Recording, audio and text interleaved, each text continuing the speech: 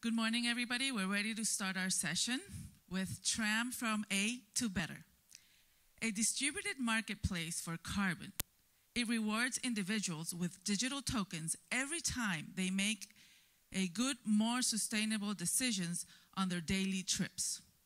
It empowers people to take the world from A to better by making every trip count. Let's welcome the Tram team.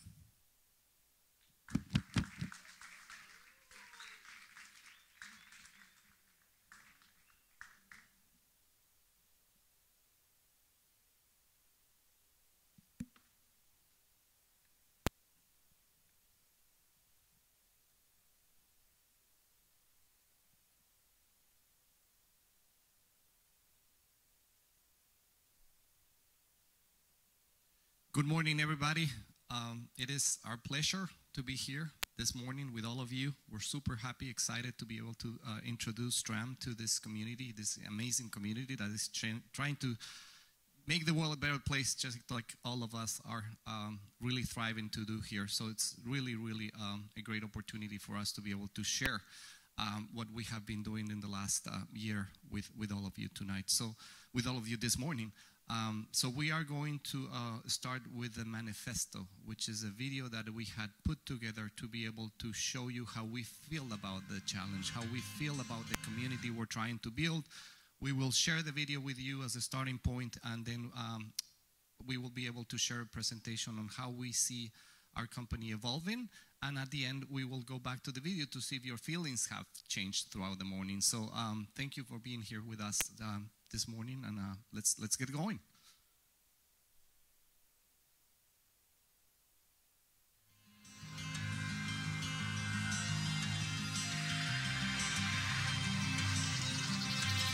Economic power, cultural power, powers that feel bigger than us.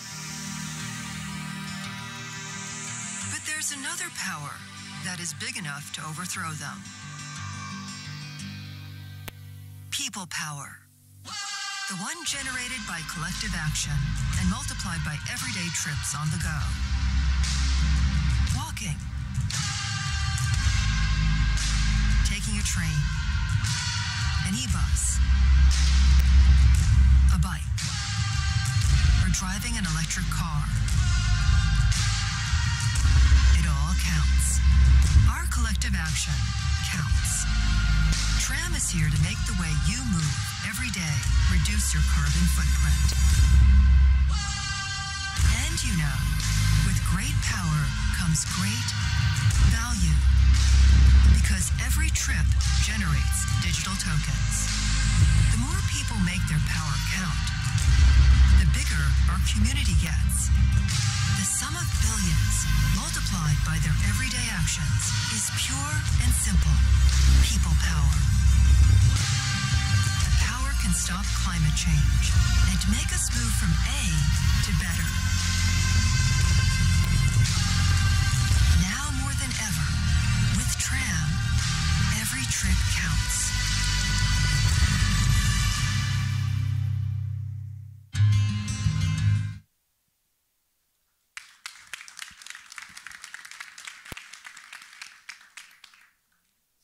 you. Um, have you have you thought about how many times uh, do you travel every day? Have you thought about how many how many trips do you take every day? You, you travel to go to school. You got travel to go to work. You travel to go to um, supermarket. You travel to uh, take your kids to practice. Uh, you know, you travel to go see your friends. Um, you travel to do the things that you like, and you travel to do sometimes the things that you don't like. But we live in a world that is constantly moving. And, and that energy and that, and that need for us to be moving all the time, moving everywhere, it's, uh, it's something that will continue to be part of our lives throughout. And, and that's something that we have gotten to use to do every day. But have you thought how many times do you take a vehicle to do this? Does, does everyone here probably owns a vehicle? Probably knows somebody that owns a vehicle. Those vehicles are part of our lives. Those vehicles have been part of our lives for a very long time. And unfortunately, those vehicles are part of the challenge. So we need to think about this in, in a way that every trip counts. And we're very serious about this. Because if we take in consideration those many, many trips that all of us take every day to go from point A to point B, and everybody that we know is doing the same thing, when you add up, it's, it's a big deal. It's a big deal, and I'm, I'm going to talk to you um, about why we think we have an opportunity to improve things, to make things better for everyone. Um, in, in, in not only in this auditorium, but to actually make things better for society. One of the challenges that we have, and this is a personal challenge to me, I have three teenage kids. And one of the challenges that I think we have is that when we talk about climate change, when we talk about the environment, when we talk about sustainability, a lot of people do not relate to it. And not only that, but a lot of people do not think that's something cool or, some, or something that they want to be part of.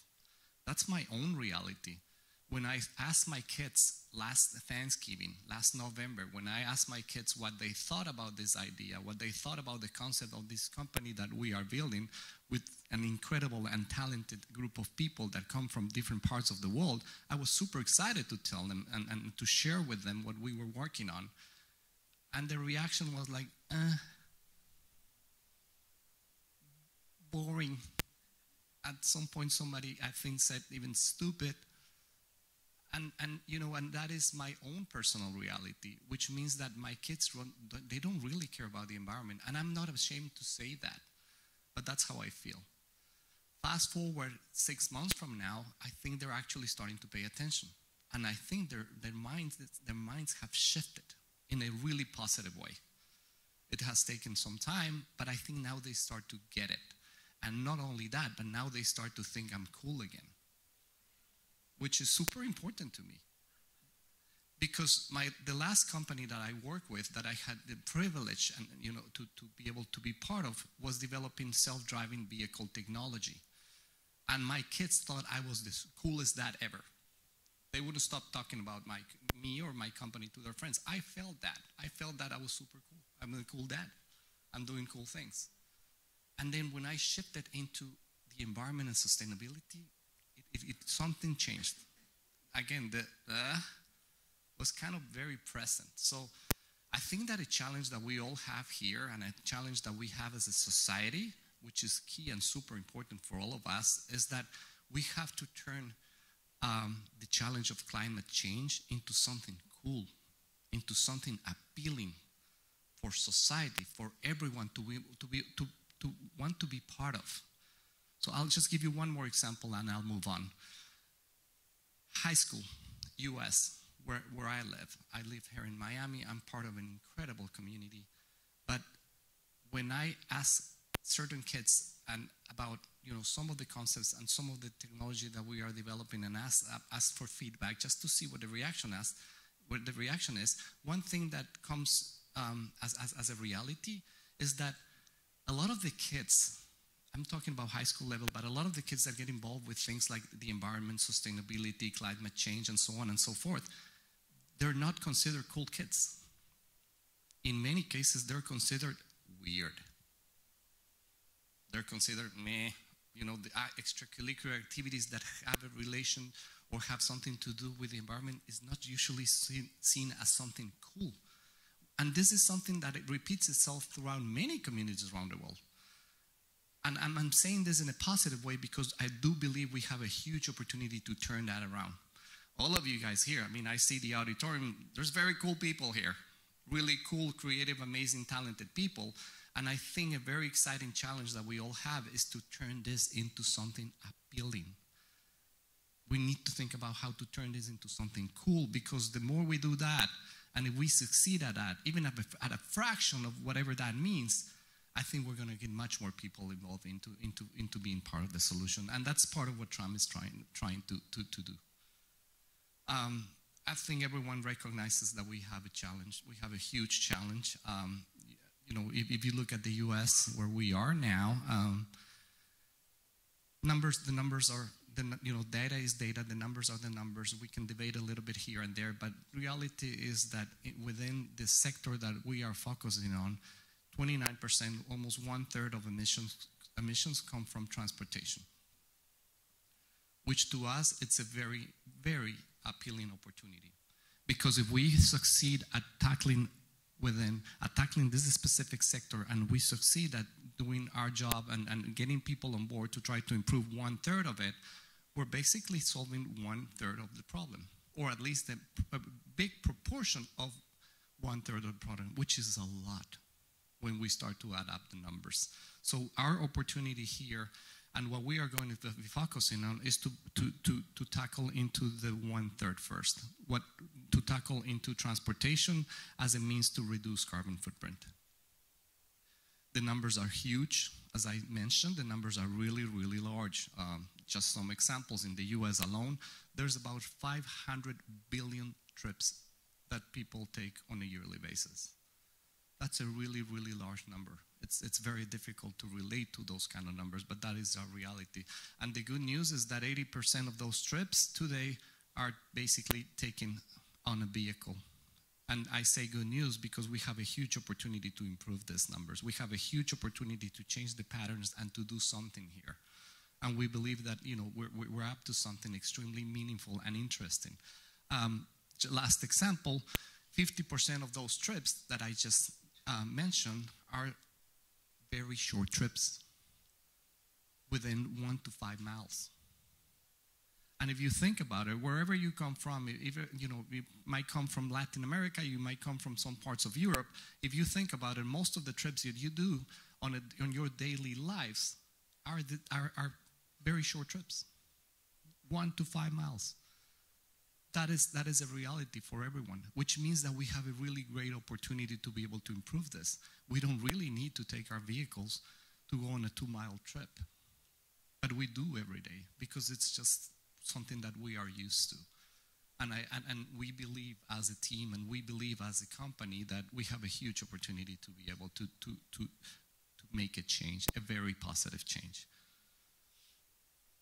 We have been working on um, developing what we call the circular economy, which doesn't exist today, and which we believe it's, it's, it's, it's, it's something that we can um, do, and it's something that we're working really, really hard to be able to achieve. So when you think about all of us as a community, when you think about all of us as a society and the way we move around, um, and, the, and, and, the, and the challenge to be able to reduce carbon footprint, um, so why would we do that? Why would we make a change? You know, and, and people are driven by incentives. That's the way human beings are. So if we can find the right economic, societal, and moral incentives to be able to drive change, then we might really generate the value that we're seeking for. And we're doing do that through generating this circular economy where each one of us takes a decision, makes an effort, goes the extra mile to, to, to, to take a sustainable trip. To be able to go to point A point, from point A to point B in a, in a much more sustainable way. And every time you do that, you will receive a digital token for that effort.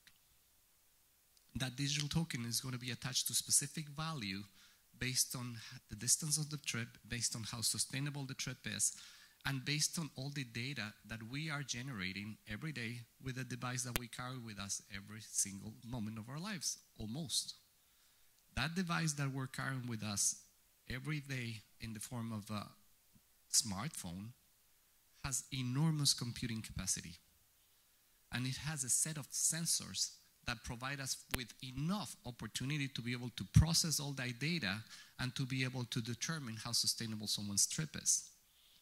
And so when you get that digital token, that belongs to you now because you are the owner of that action and it goes into your digital wallet. And you start to accumulate those tokens by generating those positive actions that allow you to accumulate more tokens and so on and so forth. And then on the other side of the marketplace are the companies the companies around the world that have an enormous uh, responsibility to comply for their carbon emissions, for what they do as a company.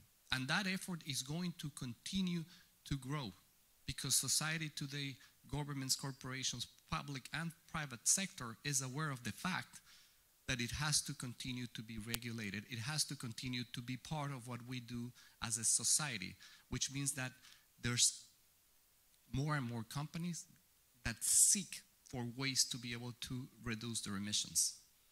And today, there's a shortage in what we call offsets, which is the other side of the equation. There is a shortage for companies to be able to discover and find these kind of solutions. And there's a lot of efforts from many different companies trying to figure out what are the right projects to be able to offer these companies to be able for these companies to offset. And that will continue to be the case, which is a great thing. But our, our theory and the reason of our existence is that for the first time, we're bringing the individual as part of the equation, all of us here.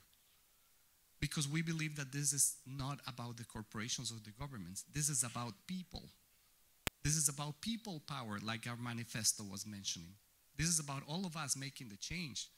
And so, what we believe in is that if we can all imagine having a digital wallet that it's part of our daily lives, where every time we take the right decision is, is rewarding us with some form of digital value, then we believe we have an opportunity to generate the scale that we need for people to start to be part of the equation massively.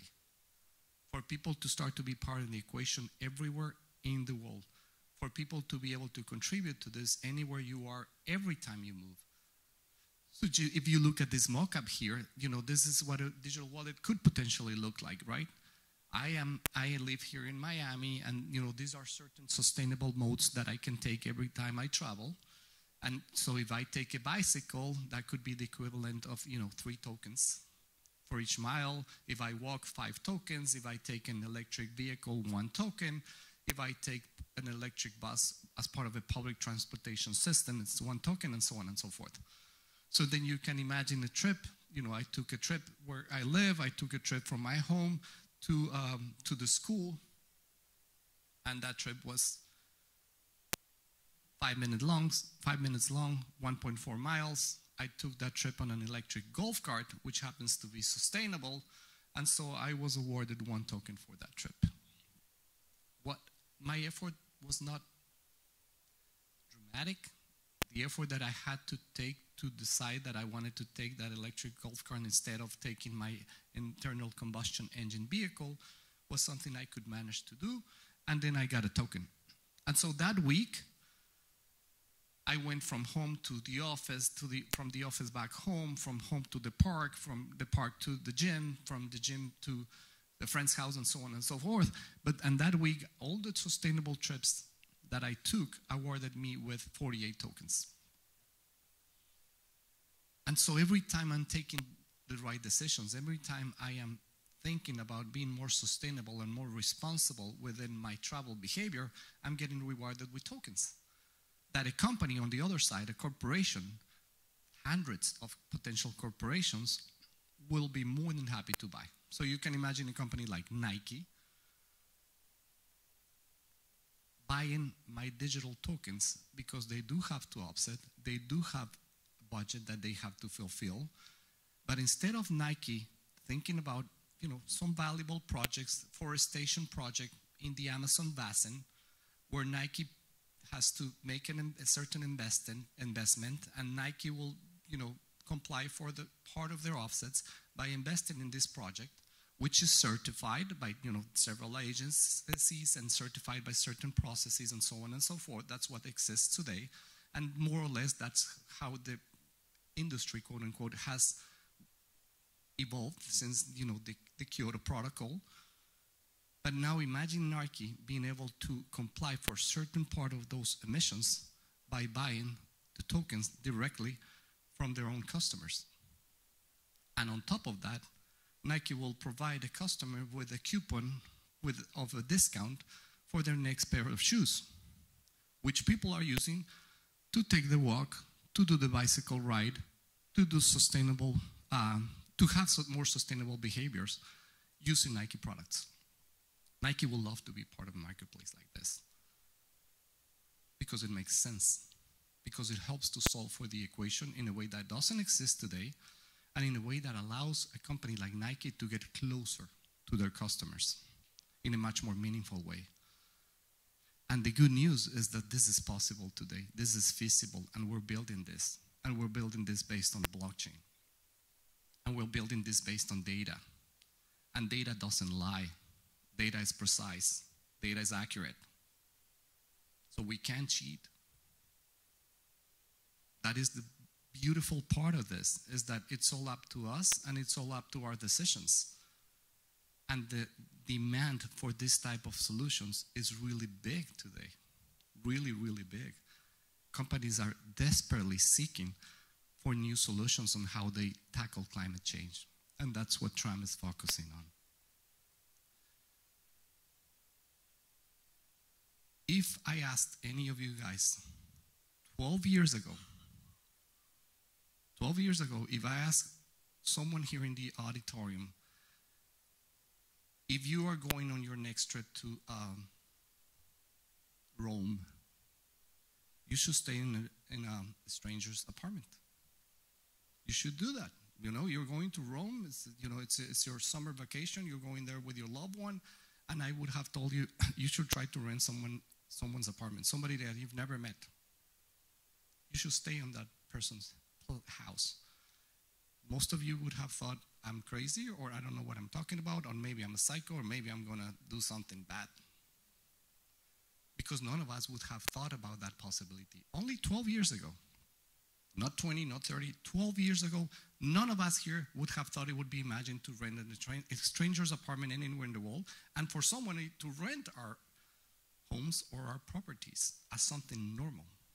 Only 12 years ago, nobody would have thought that would be possible.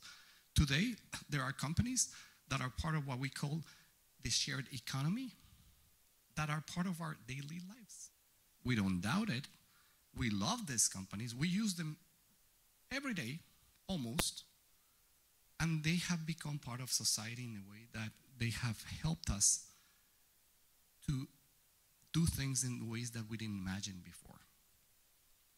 And so this is extremely important to us as a company because we do believe that one of the first things that we have to um, learn from the world that we live in today is that the amazing and fantastic technologies that we have available today allow us to think about the impossible. The number one lesson that we need to learn from the technological developments that we have achieved as a society is to believe is to believe that things are possible is to believe that we can change the way we live is to believe that we can change the way we do things and patterns and and, and, and things that we thought were didn't make any sense it is extremely important that we keep this in mind because this is what's going to allow us to make the change that we're all seeking for this is what's going to allow us for us to be better. We really believe in this as a company because we think it's possible. Can we imagine living in a world like Mario? Some of us really love Mario. Mario has been part of our culture for many, many years. And we need to think about this. We need to learn from this. Can we think about a world where every time we're moving around and doing the right thing, and every time we're doing the right thing for the environment, we're getting rewards, we're getting paid for it? Can we imagine a world where we are basically getting paid for doing the right thing? This is what we believe in, and this is what we are building because it's possible. Let's think about that as a community. Let's imagine ourselves in a world where we get rewarded for doing the right thing.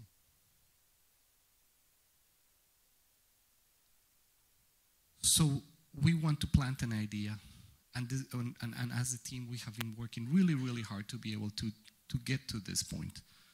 We want to plant the idea to all of us here this morning that we can reduce carbon emissions. We can make the world a better place. And at the same time, we can get paid for it. This is a game changer. And this is what we believe in. And this is the reason why Tram exists today. And we want to introduce this to all of you. this would not be possible without an incredible and amazing team. And I, I, we are very fortunate to be working with one another. We are working with extremely talented people from many places around the world. And I'm honored and I'm, I'm, I'm very proud to be able to introduce the Tram team to all of you. Ryan? Thank you. Uh, Ryan Chin. I am co founder and COO of TRAM. I am from Boston, Massachusetts. As an American, I realize that America is the number one emitter per capita of emissions. And in order to solve the problem, you have to recognize there is a problem. That's why I'm part of this company. Hi, uh, I'm, I'm Alvaro. I'm the European Union Director for, for TRAM. And I would just like to invite you to join this community and let makes it different, let make us different to, uh, to, together. Good morning. I'm Lakshmi Srinivasan. I come from uh, Chennai, metropolitan city in India. Uh, coastal city, much like Miami, staring at potential uh, impacts of climate change. I'm the Chief Technology Officer of TRAM. I'm really excited about the combined power of blockchain, artificial intelligence, and user experience technology that we can bring in order to induce the behavior change, the shift in our mindset that Ramiro talked about, that all of us did by trusting the technology through Uber or Airbnb. So firmly believe that this is possible and it is our right to make every trip count. I'd like to start a question. Why do we travel? Why do we travel? We travel physically to allow us to move from A to B. But more importantly, we travel to express ourselves, to pursue our dreams, to achieve our freedom. Transportation technology today allows us to travel faster, travel longer, but with sheer consequence, like Ramiro pointed out. But with tram today, every single one of them can travel while reduce carbon, can travel with responsibility, and travel with pride. I'm Jinhua Zhao from China. I'm the chief scientist and co-founder of Tram Global. Hello, my name is Eduardo. I'm a co-founder and CMO at Tram. My job is basically to make it cool, right? Uh, to make sure this is not boring and making sure we bring our experience from the ad world. Uh, I used to live in London for the last few years, and I'm, i guess I'm a Miami boy now. I moved uh, last year here. Um, and we want to make sure that the communications, our go-to-market strategy, and, and the brand becomes part of pop culture, becomes something that you know your kids, my kids, your kids uh, want to be part of. So, so it requires creativity, marketing, communications, and that's my job as a CMO and co-founder.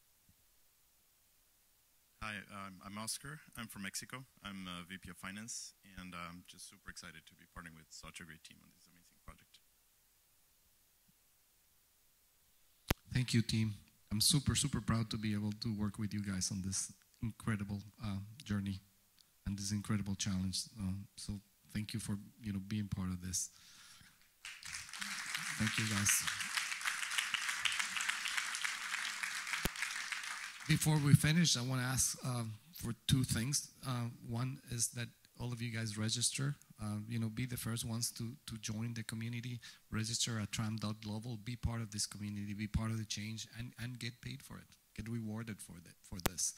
Um, and um, we're gonna we're gonna we're gonna show the manifesto again, just to see if something in, in your mind changed after after um, allowing us to share where we are, after allowing us to share Tram with you and our vision with you. Um, I would love to have the opportunity for you guys to go through the manifesto again. Um, and thank you, thank you for for for being part of this community, and thank you for seeking change.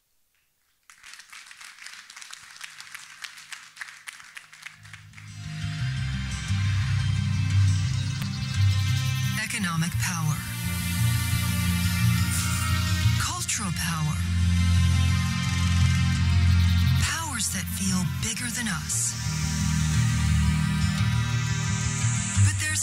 power that is big enough to overthrow them. People power. The one generated by collective action and multiplied by everyday trips on the go. Walking. Taking a train. An e-bus. A bike. Or driving an electric car. Our collective action counts. Tram is here to make the way you move every day reduce your carbon footprint. And you know, with great power comes great value. Because every trip generates digital tokens. The more people make their power count, the bigger our community gets. The sum of billions multiplied by their everyday actions is pure and simple people power. The power can stop climate change and make us move from A to better.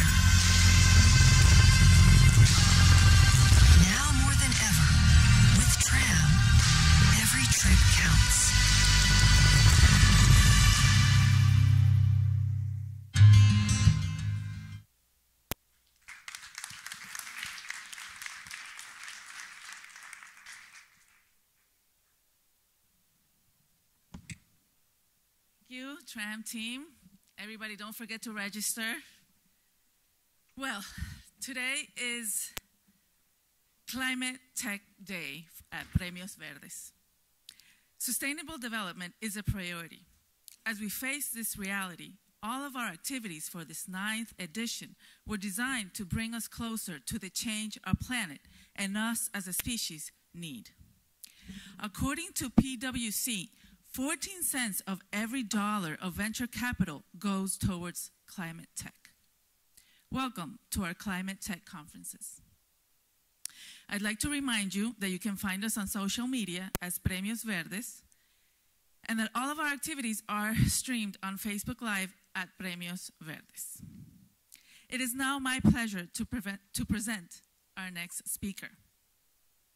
She's an economist and an award winning author who served President George W. Bush in the White House and on the National Economic Council. She combines her interests in economy, technology, and geopolitical and geopolitics to start tech companies and advise investors and policymakers. Please welcome economist Pippa Malmgren with her title, The Geopolitical Landscape.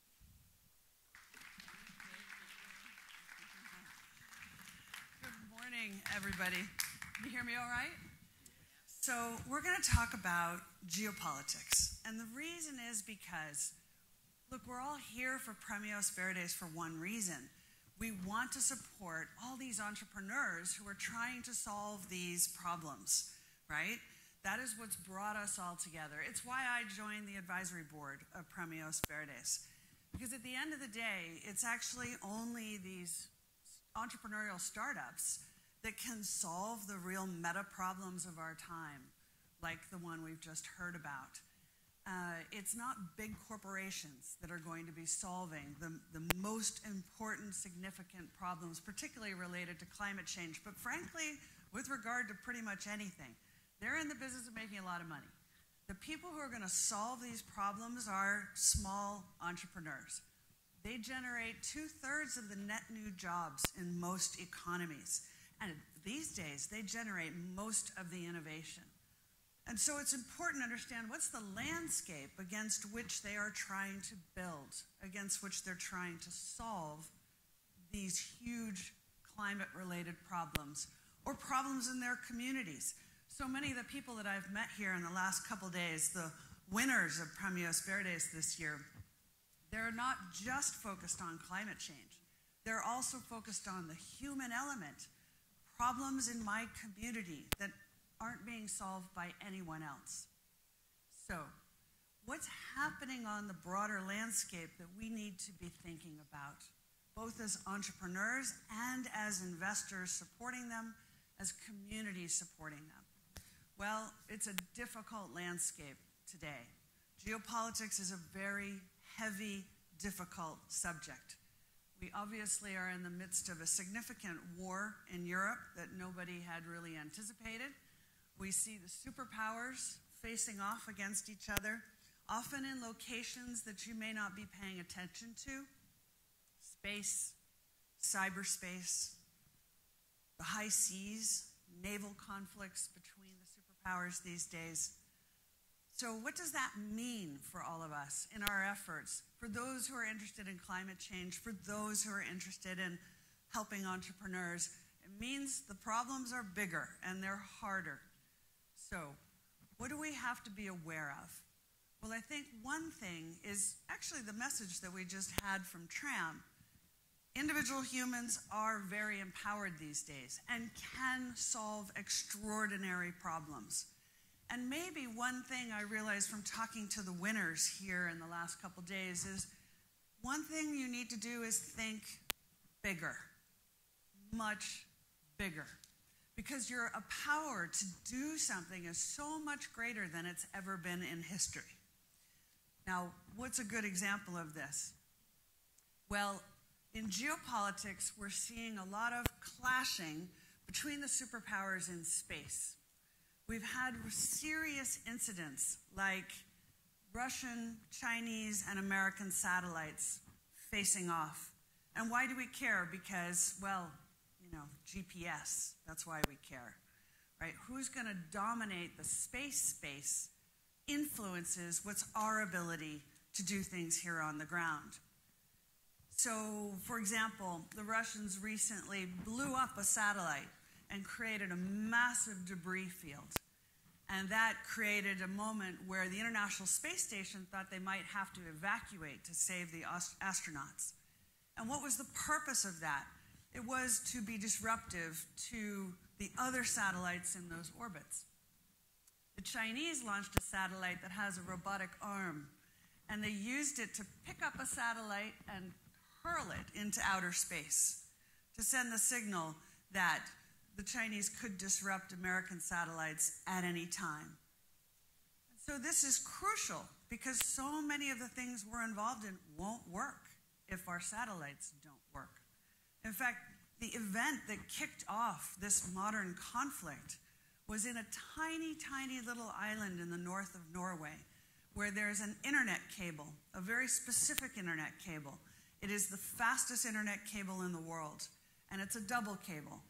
And what is it doing on this tiny little island called Svalbard in the north of Norway? Well, it's where almost every satellite that's less than 5,000 miles high connects to Earth. And so when someone cut that cable in two locations, removing four kilometers in between, that was considered by, for example, the British Chief of Defense Forces as fundamentally to be considered as an act of war. And what was the point? It was to signal the vulnerability we all have to literally the space space. And I see a huge amount of startups in the space arena. It's extraordinary what small little companies are able to do in very far away places. And this is maybe my, one of my best examples of why imagination is actually the most important quality that you can have when you're operating in the startup world. In leaps of imagination are what make things happen. So it turns out there was a very young guy who invented a new kind of microphone. And he felt that this microphone could do really extraordinary things that no microphones had ever done before. How exciting can a microphone be, right? I'm using a microphone right now. How, what can it really do? Well, it turns out his microphone, and I don't think he was much more than a teenager, was the microphone. Have you guys heard the sound of Mars? Right? NASA has been broadcasting what it sounds like on Mars. Well, that was that kid's microphone. It got sent into space. So small ideas can turn into huge outcomes. And this is important in a world where geopolitics is now going to bear down on all of our efforts to make the world a better place. For example, one of the results of the war in Europe that we're seeing, which seems far away from where we are here in Miami, and most of the startups we deal with in Premios Verdes are in the uh, Spanish speaking world, and yet it's touching all of our lives. The price of natural gas is up 192% in a year.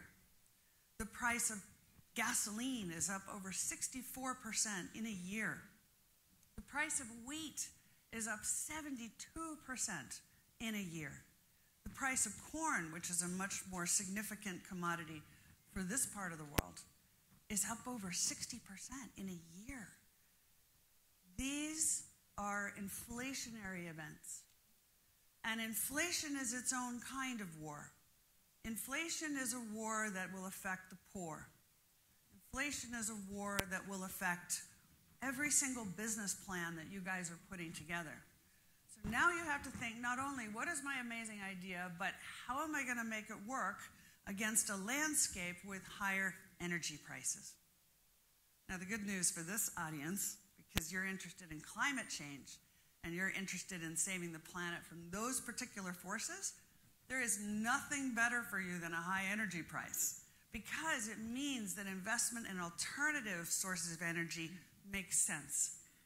And so paying attention to what are the alternative options, that means you have to pay closer attention to the underlying realities. Like you may say, I will use solar panels. Fantastic. Except it turns out a lot of the uh, lot of the inputs you need for solar panels now we have shortages of. So now we're going to have to think more creatively about where are we going to get the solar panels from if there aren't any new ones coming. Now I think that all of us have that imagination and creativity to do this. And there's so many interesting examples of using creativity in ways that are so unexpected. For example, I'll say in the war in Ukraine, our sort of hottest geopolitical spot on the planet right now, you know what's proved to be the most effective, efficient phenomena compared to what the Russians have? So here we have a superpower. The Russians have nuclear weapons, they have tanks, they have aircraft, they have everything a superpower has in its defense arena. And you know what the Ukrainians have been using? Yoga mats. Yoga mats. You say, what? It turns out yoga mats have a substance in them. If you put it over your head, it blocks the heat signature of the human underneath. And so you can sneak up on the other guy and plant the bombs and they can't see you coming or going. Now, that is creative thinking. That is individuals being their own startup to win the war. And that is the kind of creative thinking that these enormous pressures that I'm talking about will compel because there is no other way. There is no other solution. The only solution are acts of imagination. Yesterday, I was talking to the Premios Verdes winners, and of course, all of them had exactly the same question, as all startups do all over the world, which is how can I raise money? And we do live in a world where there's an extraordinary amount of money going around. But part of my answer to them was I know you think money is the answer, but actually, money will get you only so far. What really gets you somewhere are acts of imagination that others can buy into, can follow, can believe in. Now, today, in a world where we're seeing the landscape change in this radical way, it's not enough to think, what is my cool, interesting startup? It's how is it going to affect the community more broadly? And will people be able to use my invention or my idea if they're facing higher rates of poverty in the community because of inflation. This business of thinking about what's the landscape against which I'm operating is absolutely central to success. It's very easy to wake up in the morning and think that just what you read and what you know in your day is the whole picture. But it isn't. And that's why events in faraway places like Ukraine why things like superpower conflict, which seem very far away, are actually central to all of our efforts to solve the problems of our times. Now, the world of geopolitics is immensely complex, and it involves not only nations uh, arguing with each other, But we're in a moment of history where technology is actually causing a shift in the balance of power between states and citizens. And we see this in the form of culture wars and information wars and social conflict, which is occurring even more because of the inflation that I described. But there's good news. And that good news is technology is now allowing outcomes we've never seen before. So I'll give you a couple of examples. And they are a geopolitical revolution, they are not just a pure technological revolution. One of them has to do with the invention of digital money.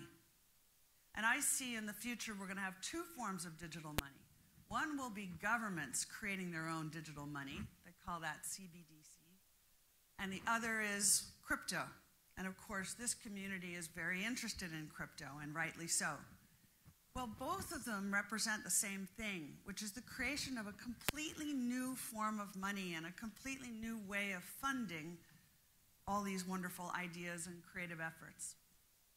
Now, traditionally, when very bright people want to come together to create value and wealth and profits, well, normally we would have in the past all found people who happen to live in the same town that we live in, and we would have created a company with them. And that company would have issued shares, and investors would buy shares in those companies. And that's how you create Apple, right? Two guys in a garage, great idea, create a company, issue shares. Today, we have a new phenomena. Have any of you heard of the Bored Ape Yacht Club? Right? It's very interesting, actually, how the age affects. Younger people know about it. So, as an older person, let me tell older people this is a very important phenomena because what it represents, it's if I, I would ask you to Google it so you can actually get a visual picture. But the Bored Ape Yacht Club are images of cartoons of apes. And some of them are selling for extraordinary amounts of money half a million dollars, a million dollars. People say, why are people paying that kind of money for a picture? And the answer is because it's not a picture, it's a community.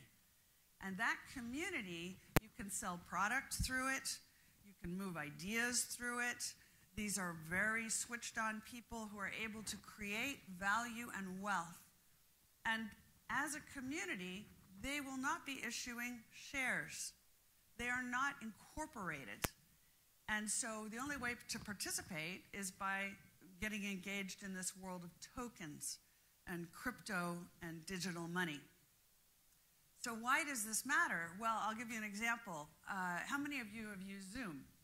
Right? Everybody's used Zoom COVID, right? There's a company called Hopin. Hopin is like Zoom, but it has more bells and whistles. Well, Hopin was an idea in 2019. Today, it's worth 8 billion US dollars. Now, what's interesting about Hopin is none of them have ever met. None of them have ever met. They're not in the same place. Number two, they have no headquarters. They're not based anywhere. Now, they are incorporated, but with today's crypto, creation of DAOs, and all kinds of mechanisms, you wouldn't need to actually incorporate. Now, if that's the future, well, this is very interesting for national governments because national governments are used to taxing corporations in their community or individuals in their community. What I'm describing is a world where it, the corporation isn't there anymore. And all these bright people are coming together and they're digital nomads. They're all over the world. So, where is the value? Well, I can tell you, this is going to be a geopolitical fight about where is the value being created and how does it relate to the power of governments or not, and which governments are going to be friendly to this new way of making money and this new way of solving problems, this new way of addressing climate change through imagination, and which ones are not. And I think this is going to shift the location of where is economic activity occurring. Because one person with one laptop today can create $8 billion worth of value in a few years. That's a completely different world than we have ever had before. And that one person with one laptop with one brilliant idea can be the one that solves some extraordinary problem. By the way, even the big oil companies, right? Those famous Seven Sisters, the Shell corporations, the BPs of this world, how are they trying to solve problems? How are they trying to be less an emitter and less a, an extractor of energy? They crowdsource. They announce, here's the problem we're trying to solve. Anyone can help us solve this problem. And they reach out to the global community, and you know what? It's working. And some of them have even started to say, actually, we're going to exit this whole space altogether. Countries are doing the same. Saudi and Norway, two of the biggest oil and gas producers in the world, have both said, actually, technology's changed so much, we think we can go to zero. We can literally get out of the oil business. It may take a little bit, but that's the direction of travel. So, is that a good thing if you're interested in climate change? I think it is. It would be great if it was faster. How could it be faster? Individuals with brilliant ideas. That's how it's going to happen. So, you may feel geopolitics is, you know, far away. It's uh, not part of your daily life, and yet it is. It's, it's literally the cradle that holds you in place. So, understanding exactly how it's going to touch you will affect what kind of business are you going to create, what kind of solutions will be there, and who's going to invest in your idea. I think another piece of geopolitics has to do with global financing mechanisms. And again, traditionally, individual nations were able to determine what the rules of the game were. The United States, country that I'm from and that I've served in the White House, we always thought, you know, we'll make the rules for global finance. That's the way it will be. Well, it turns out it's changing. And other governments, for example, the government in the United Arab Emirates has said, well, actually, in the digital space, we could produce rules and regulations that would allow crypto and digital to come to life. They don't have to be based here, but we can create the rule system under which they can operate. So suddenly, the Emirates is emerging as a major center for that. By the way, other subjects as well, like DNA sequencing, because they have one of the most diverse populations in the world. Is that shifting the balance of power in geopolitics? Yes. Is it moving more entrepreneurs to that part of the world? Yes. And therefore, should we all be paying attention to which governments are going to make it more friendly, easier to operate when you're in idea creation mode, and which are not? The answer is yes. So we're running a little bit behind schedule this morning, and I'm definitely going to be around uh, for most of today. But I wanted to leave you really understanding that while geopolitics is heavy, it's hard, it's full of awful news at the moment. But all of it's necessary because what you're doing, whatever it is, in the realm of creation, will be affected by it. The clients that you're trying to serve will be affected by it and the investors that you're trying to appeal to will be affected by it. So you can no longer afford to look only at what you're doing in your day. You need to consider what's happening on a global scale that might affect what I'm doing. I'll leave you with a positive note. I think that we're in a world that's no longer going to be about scarcity. And so much of geopolitics is driven by scarcity. You have that, and I need it, so I'm going to take it. That's much of what's happening in Ukraine, actually. We are now in a world of ubiquity. We're in a world where scientists are able to create materials from the atomic level up. We're in a world where an individual with a laptop can create an immense amount of value and connectivity. We're in a world where all of you can connect with other entrepreneurs to solve the problems you care about most. So while it's heavy, it's also the beginning of an extraordinary period of history where, frankly, it's not going to be the corporations we're going to be reading about. It's going to be the individuals who were able to navigate the world that I'm describing and bring their ideas to fruition. So, with that, I will leave you and thank you very much for your time.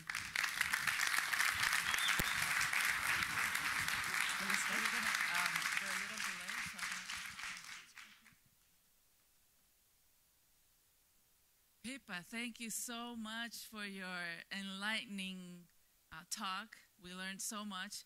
I have heard of the Bored Apes. okay. Uh, and um, we would like to open the floor to just one question. So it's going to be at random and see if anybody has a question that wants to ask Pippa. Yeah, and actually, while you're thinking of a question, I also meant to say, and I was just because we're compressed on time, you know, Premios Verdes has partnered with Algorand, uh, and Algorand is a green, the green blockchain. And I don't know if you saw yesterday, but they turned off all the lights in Times Square uh, to show that if you, for one hour, turned all that off, you could uh, mint on their blockchain uh, 350 million transactions versus a typical non green blockchain, six. So, even in the world of, again, crypto and blockchain, we're seeing unbelievable leaps in capability. And frankly, everybody who's running a business these days, when you're thinking about which blockchain are you going to operate on, I cannot afford to overlook what Algorand is doing to totally revolutionize this space. Yes, great. Does anybody have a question? One question? Somebody? Over there. One question. Okay.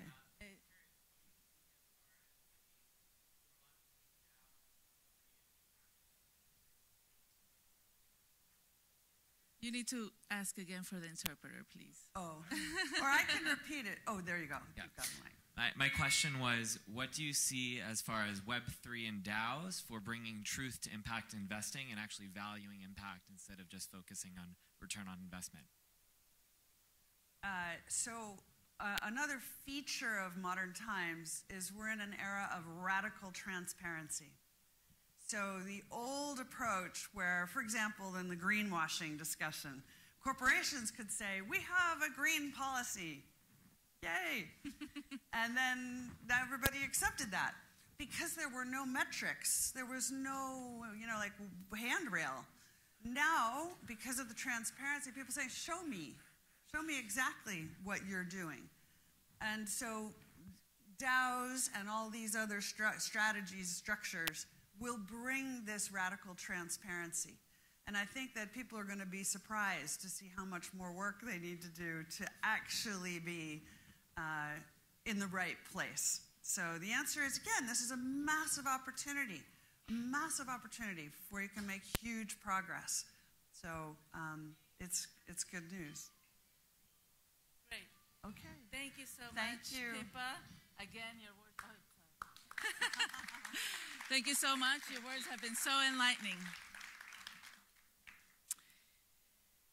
Okay, everybody, we're ready to continue with our next talk. As Miami's 43rd mayor, Mr. Suarez is committed to building a Miami that welcomes everyone. He has championed the integration of climate adaptive technologies, building practices, and economic policies across all facets of government as part of his Miami Forever plan. Under his leadership, under his leadership, Miami has cut crime and taxes to one of their lowest points in over 50 years, spurring an economic resurgence. Most recently, he championed the development of Miami's tech economic tech, tech economy through Venture Miami and investments that connect education and job training to Miami's new emerging economic sectors, such as fintech, medtech, and green tech. Please welcome the City of Miami Mayor, Francis Suarez.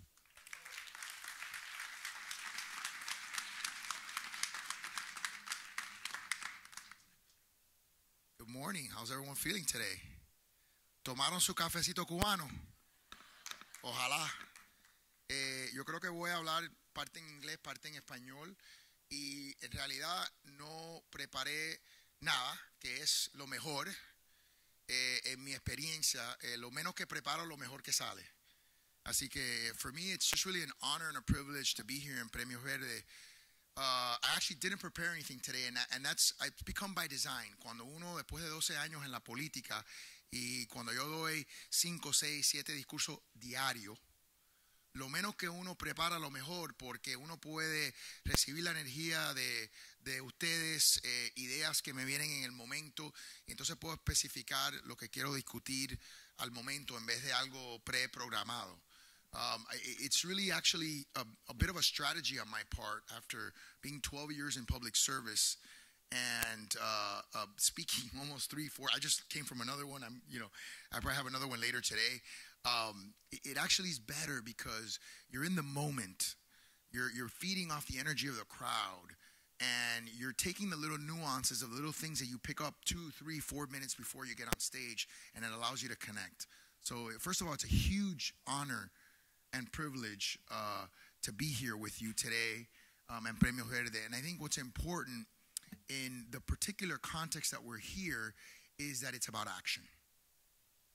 You know, uh, you know what has been my action as a mayor of a major metropolitan city in the United States? Well, first, uh, I was named to be the chair of the Environment Committee for the U.S. Conference of Mayors, and I'll tell you a funny story about it. We had uh, young people picketing every Friday outside of City Hall. This is a true story. And I w- one day I went out there because every Friday they were out there, and I, you know, students and they're picketing, and you know, and then some of them were blaming the mayor for this, that, or the other.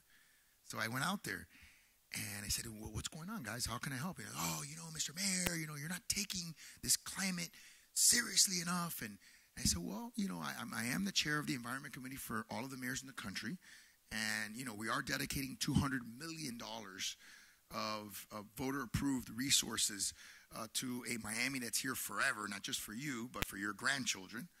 But you know, what's on your mind?" And they said, "Well, you have to, you have to declare a climate emergency. You have to." And so I thought about it, and I got a little scared because I said, you know, what am I saying, right? Like, what's the projection here, right? Am I telling my the world like, hey, don't come to Miami. There's a climate emergency. There's, there's a problem, right? And so, from a branding perspective, I was like, oh, you know, this, this, I'm not so sure about this. But I started thinking about it, and I had my annual conference of the U.S. Conference of Mayors, and I'm telling this story for a reason because it, it sort of connects with how the generations are seeing this issue, right? Maybe in my generation, which is the post-boomer generation, maybe this is top five issue for us. But for the generation that comes after me, this is number one. This is issue number one before anything else. So I go to this conference in, uh, in, in, in the middle of the summer, and I'm the chair of this committee. And I've been thinking about what these, these kids have been telling me. We got there's a climate emergency. How do we how do we how do we accelerate the action? So spontaneously at the committee that I chair, I asked all the mayors of the United States to declare a climate emergency. Right? And it passed unanimously. So I came back to Miami and I was very excited. I was very enthusiastic. And of course, it's another Friday. And of course, the kids are out there and they're protesting again. But this time I had ammunition, right? I was pumped. And so I, I, I go up to him and I say, you know, guys, I got great news. You know, I was in I was in this conference and I'm the chair of the environment committee for the US Conference of Mayors. And I put, you know, climate emergency you were asking me for. Yeah, we, we did it, we did it nationally. We did a national climate emergency. And they looked at me and they said, But you haven't done it in Miami yet. I was like, oh my God. So I, I- think the lesson is twofold. One is that is the generation's number one issue. And number two, they want an intense and comprehensive solution now. They want it right now. And I think what's uh, amazing about Premio Verde is that they focus on action, they focus on uh, the innovation that is happening now, that is transforming our, our world now, that is making us more sustainable now. Uh, and I see Fran from Climate Coin here and, and the Climate Coin team. Um, and, and it's just exciting to me to be affiliated with companies uh, that are presenting today solutions at scale, macro solutions uh, that are going to help us get to a carbon free future. And so, uh, you know, when, when we look at the sort of technologies, I was just walking in the door and these young ladies came up to me with this incredibly cool carbon capture technology, right? And, and we're going to see carbon exchanges uh, revolutionize how ESG is, is becomes part of the corporate fabric of our society. Um, it's exciting uh, to see this innovation uh, being done in ways that are on the blockchain and that are, uh, you know, that are accountable and that are audible, auditable, so that we know that what the promises that we're making, we're delivering. And you know, I, I, I'll, t- I'll share with you another story. I got nine minutes and 19 seconds. I love telling stories. I realized one of the most powerful ways to communicate is to tell stories. Uh, and my dad the other day, who, and my dad's story is fascinating. My dad is a ninth of 14 kids, came to this country at 12, didn't speak any English, got a full scholarship to high school, full scholarship to college, two graduate degrees from Harvard, has written eight books and speaks five languages. And so the other day he says to me, You know, son, I'm really worried about your crypto stance. This is a true story. And, you know, because, you know, I, I'm afraid for your political career in the future, you know, and, and, and the environment. And, you know, I, I said to him, Dad, you know, as smart as you are, and he, my dad is a genius, as smart as you are, you don't understand the issue completely. Because in Miami, we like to say that the environment is the economy, right? It's not one or the other. We're not picking the environment or the economy. We don't have that luxury. Our environment is our economy. They're one and the same. They're unified, right? There, there is no, there's no discrepancy. There's no difference. And so what I told him, I said, you know, every single miner of Bitcoin that I know of in the United States of America is either carbon neutral or close to carbon neutral. I really wish I could say that about every company in America. They will be in the future uh, with Fran's technology, or at least they can they can uh, they can uh, find their way there. And part of that, by the way, is carbon offsets and how they get there right? But but but part of the problem with with uh, with Bitcoin and the mining issues related to uh, energy are that the major producers or the major market share of of Bitcoin were coal-producing countries like China and Russia. And guess what China and Russia have done in the last six months? They banned Bitcoin. By the way, it's not because of the environmental issues. I can tell you that much. It's because they can't control it. And so the major you know, dirty producer of Bitcoin mining has now banned Bitcoin. So they've given the United States, who is you know who's mining in a carbon neutral or close to carbon neutral fashion, a massive, massive uh, opportunity to do something that's good for the environment and good for humanity. And so, you know, we live in a world where people like to project out, particularly in, in environmental discussions. You know, we have hurricanes here. We have uh, uh, dry day flooding and we have uh, rain bombs, right? But we have a hard time projecting where hurricane's going to hit five days out. And I love when people come and tell me, you know, Miami's going to be underwater by 2100. I'm like, man, we can't even tell where a hurricane's going to hit in five days. I don't know how you can tell me what's going to happen in 100 years. But part of it is based on some flawed uh, mathematical analysis, right? If you if you just take history and you project it out, maybe those maybe those statistics are, are, are valid and maybe they're real. And by the way, I'm not trying to diminish the concern. The concern is very real, and the concern we, we should be we should feel like it's an emergency. We should act like it's an emergency because it is an emergency. But but I fundamentally believe in human ingenuity, and I believe in those two young ladies who are out there and have that carbon capture technology. I believe in Fran and his uh, carbon exchange and climate coin. You know, I believe in the Tesla Prize winners, which were two other young ladies who came and did a cafecito tech talk with me, where they talked about how the uh, you know they designed these this this technology, sim, not too dissimilar from what you see out there, where container ships can rebalance the pH of the ocean slightly without harming the oceans to capture more carbon in a safe way and create a better homeostasis for our world. You know, we focus a lot on on adaptation. We focus a lot on mitigation but I'm, I'm afraid that we don't focus enough on reversal. You know, we have to reverse the impacts of human uh, intervention. And I fundamentally believe in my heart and in my soul that we have the capability and the capacity to do it. And what that does is it disrupts those linear curves, right? When you talk about, you know, uh, the, the warming of the earth, which is very real and very scary, right? If, if the current trends continue, we have to disrupt those trend lines. That's the only solution. It's not about mitigating, it's not about making it less hotter. It's about finding a way not to have that happen at all. Right? So uh, it's, a, it's going to be a fun journey for all of us to do it together. Um, the beauty of it is now, like I said, the environment and the economy are intertwined. So there's an economic case to be made for being good stewards of our environment. It's not just about saving ourselves, which should be strong, you know, strong enough of a motivation, right?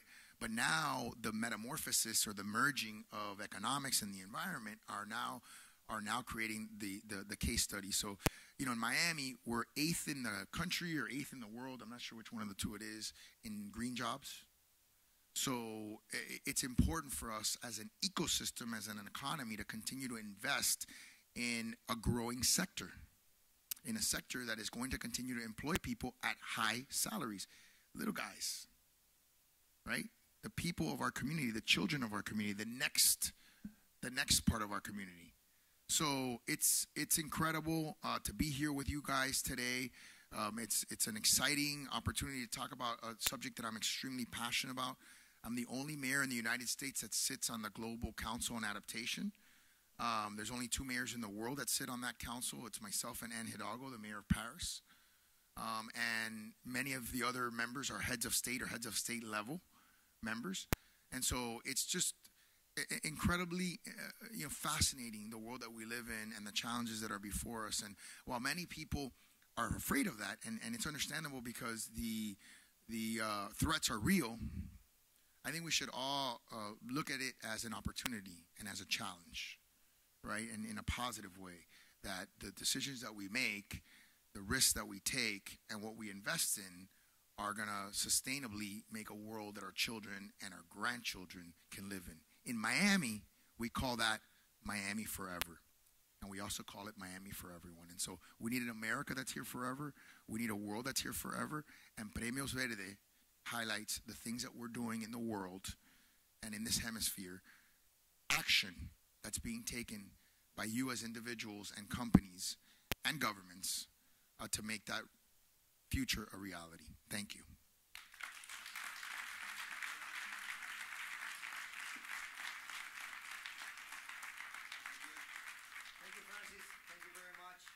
Muchas gracias, Francis.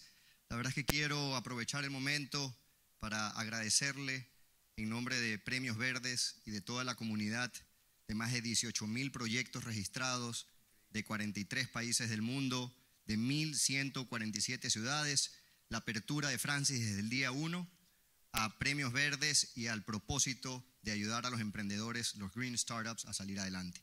Así es que esperamos quedarnos muchos años más acá en Miami y que Miami no solamente sea el lugar que promueva los negocios sostenibles hacia el mundo, sino que los atraiga. Así es que muchas gracias y no sé si es que podemos dar espacio para un par de preguntas, que estoy seguro que van a haber muchas personas que quisieran preguntarte algo. ¿Cómo que no? Por supuesto. Yo sé. Muy buenos días, señor alcalde. Buenos días. Eh, mi nombre es Mari, vengo de Colombia, Ah, Bucaramanga. ¿qué ciudad? Acá- exactamente estamos ubicados en la localidad de Girón, Santander. Magnífico, magnífico. Gracias. Eh, tengo una inquietud, me gustaría llevar algunas ideas. Nosotros tenemos una empresa de reciclaje de plásticos Ok. hace 37 años con mi esposo, Jaime. Mi inquietud es, eh, la ciudad de Miami tiene territorios pues acuáticos, está rodeado de, como decimos, los negocios verdes y los negocios azules. ¿Cómo que no? Eh, las dos partes son muy importantes para la conservación. Yo quiero Sí. llevar ideas para mi región. ¿Qué ideas podemos generar para recoger más los residuos sólidos? ¿Qué ideas podemos darle a las comunidades teniendo en cuenta que hoy día somos ampliamente consumidores de este tipo de, plásticos sin que sea un problema, sino mejor brindar una solución para que el consumidor disponga de mejor manera este tipo de residuos. Nosotros eh, estamos comprometidos con la parte de la educación a partir de las generaciones presentes y las generaciones futuras, que creemos que podría ser una, una pequeña, un pequeño aporte para, para esto, pero me gustaría eh, tener sus ideas, tener un concepto que me pueda colaborar para seguir con este trabajo que, que es nuestra pasión, se ha convertido en nuestro estilo de vida. Gracias. Bueno, muchas gracias por la pregunta. Yo creo que primero la educación es fundamental y yo creo que puede tener un impacto enorme, no pequeño. Yo creo que cuando uno eh, piensa del, del el enfoque de la próxima generación, o sea, de la manera en cual ellos eh, eh, ponen este tema como tope de sus eh, temas de preocupación, yo creo que ya está funcionando. eh, el, el- el énfasis en la educación, pero tenemos que continuar y hacerlo más comprensivo. Eh, a la misma vez, cuando yo he sido oficial electo por casi 12 años, nosotros intro- introducimos en esos 12 años el programa de reciclaje eh, de, de los hogares en nuestra ciudad. Así que nosotros eh, compartimos en, en esa tecnología, pero sin duda siempre se puede hacer más. Y en particular, eh, en respecto a nuestra bahía, eh, yo veo demasiado eh, personas que no, no cuidan a la bahía de la manera en cual deben de cuidarlo como si fuera su propia casa.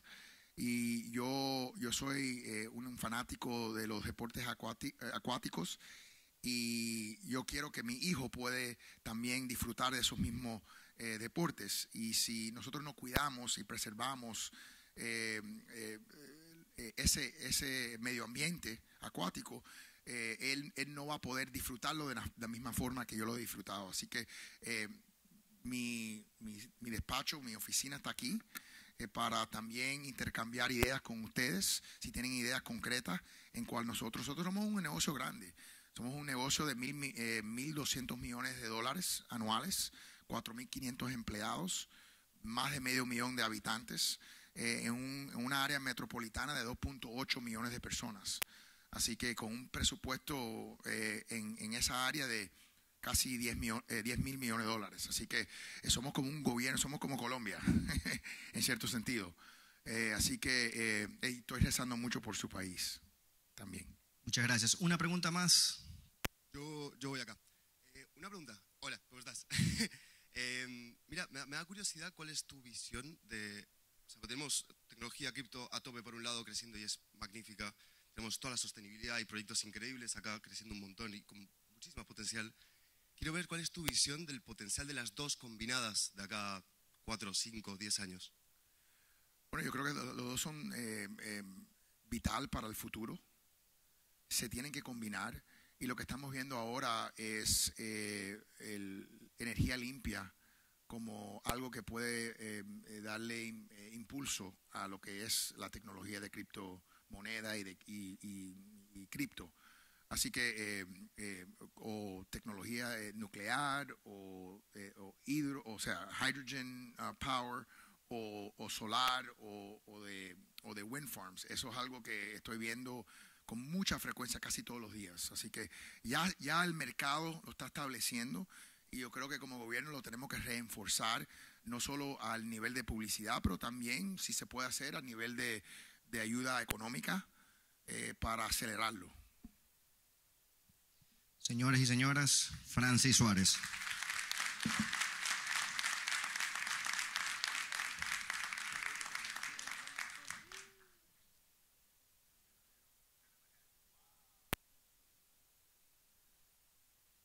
No, por- no me lo voy a poner porque mi pelo es demasiado perfecto. Y el, el gel que yo uso es concreto. Así que, pero concreto sostenible. Pero muy bello, gracias. Me, me mandan muchas cosas. Mira, esto me lo dio alguien también. Y casi nunca me lo pongo. Pero en este caso sí me lo voy a poner porque es bastante lindo.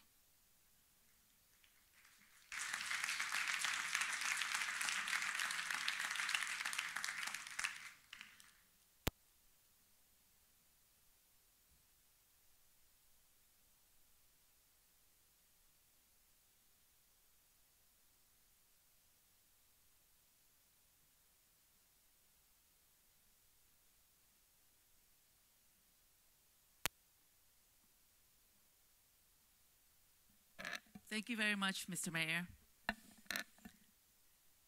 Okay, so we're ready to continue with today's uh, program.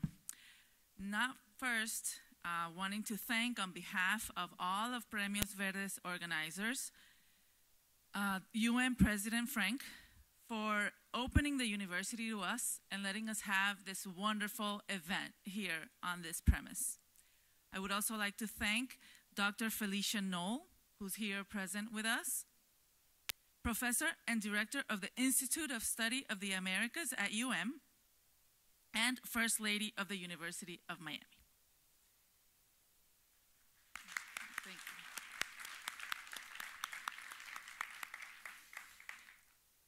And we're ready to continue with our next talk. Uh, our next talk is uh, is titled AT&T's Approach to Climate Resilience.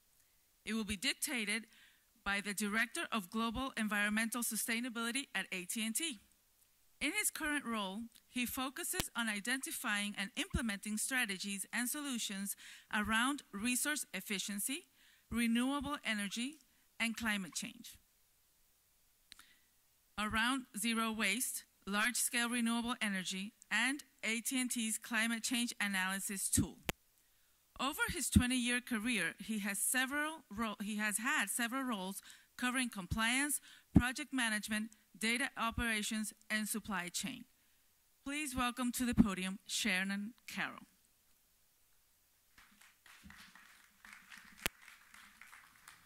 So first, thank you all for not leaving after the mayor spoke. I appreciate that. Um, second, I have a confession. I took really good notes and wrote down really good speaker notes today. But after the last two presenters, I'm like, I can't do that. So if this goes all downhill, it's their fault, not mine. So I, I do want to talk to you about AT&T's approach to climate change overall, including resiliency. Um, talk a little bit about my journey to get to kind of where I'm at right now. And the real thing I, I, I kind of want to get across, and we had a side conversation just a, a moment ago, and, and, hopefully this resonates with, with people here, is, you know, I do represent AT&T. I do work for AT&T. I consider myself a sustainability professional first and foremost. And within this world of sustainability, environmental sustainability, not everybody can work for the EPA, not everybody work for an NGO, nor do we want them to. Right? We want them to work within the large corporations where you have sustainability professionals pushing the business to be as sustainable as possible. And really that's that's my role at AT&T.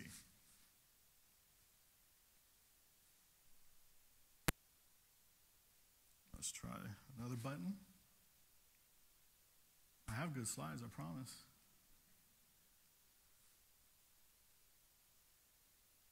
Oh, well, there. There we go. So that's our overall approach, right? So we, we do take a very holistic approach. It's not one thing or another. Um, where the mayor is talking about the economy and environment here, it's the same thing, right? So when you talk about climate change, we, we just don't look at mitigation. We don't just look at adaptation. We don't just look at our own operations in terms of being more sustainable, reducing global emissions. We look outside of ourselves as well, and that's really important because, as our CSO Charlene Lake always says, you know, it doesn't do any good for AT&T to be climate resilient in a vacuum. I think that holds true with any of us, right? We need everybody to be climate resilient in order for this kind of make a difference. So I want to talk in large part about these three components and really talk about what is the the technology and the innovation that goes into those components, and maybe uh, more importantly for me, what's the sustainability catalyst that causes all this to happen, right? Because it really doesn't happen without that. So just carbon neutral would be you know, the first thing. Again, the conversation was about everybody needs to be carbon neutral. We agree. Uh, the science says we need to be carbon neutral by 2050. AT&T's commitment is by 2035. There's also the conversation that Pip was having in terms of transparency. I'd like to say, pretty much echo her the same sentiment, which is we're in an era of transparency now. You cannot say, as a corporation or any entity, that you're climate neutral and walk away. You have to prove it. And, you know, I'm proud to say we've been proving it for a long time in terms of our transparency and reporting. So we report out on our global emissions every single year to multiple frameworks. For those of you who are in this community, you know how many frameworks there are. Um, so we'll have to demonstrate, we'll have to show that we're actually, you know, doing what we're saying that we're doing. And for us, there's lots of different components, but it does come down to, to three major areas for us. First and foremost, it's going to be purchase electricity. At the end of the day, AT&T is a network company, connectivity, and it takes a lot of electricity to power that network. Um, so for us, a big piece of that is going to be renewable energy. And when you talk about renewable energy, I think it's interesting because what was innovative five years ago is no longer innovative today, and that's a good thing. Right? I think one of the things we want to do is make sure that whatever is innovative today becomes commonplace tomorrow. So the example I'd give, and doesn't mean it's not still hard to do, it's just more widely accepted, more common. And I think a good example of that would be large scale renewable energy, which is in large part how we're going to get to uh, being carbon neutral. And five years ago, there were folks doing it, but not in the way that they are today. And the technologies, obviously, the innovations that allow companies to build these huge, giant solar and wind farms in order to put renewable energy into the grid. It takes you know a lot of know-how to do that. Um, and as we mature along that spectrum, more and more companies will join. But I'm proud to say, you know, AT&T's purchased, or we have capacity for 1.6 gigawatts of renewable energy. We only have about half of that up now, and we're already number seven on the EPA Green Power Partner list, which is an important list because you only get credit for the energy that you're generating. So, a big way for us carbon neutral as well is going to be around our fleet. We have thousands and thousands of vehicles, as you can imagine, everything from the big bucket trucks to the individual cars that go out to individual homes. Um, and we have committed to transition that to a, what we call a low or no emission fleet by 2035 as well. And that's really important, and technology and innovation is going to be key to make any of that happen. Because as much as we think EV is, is just, it's been around for a long time, right? It's just an easy solution, but sometimes we don't talk about is the infrastructure that's going to be required to support fleets as large as AT&T's and others.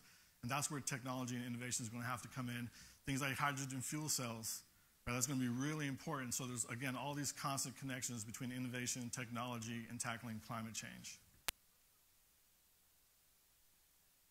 Also takes support from the top, right? And this is one of our leaders, Anne Chow, uh, a quote from her.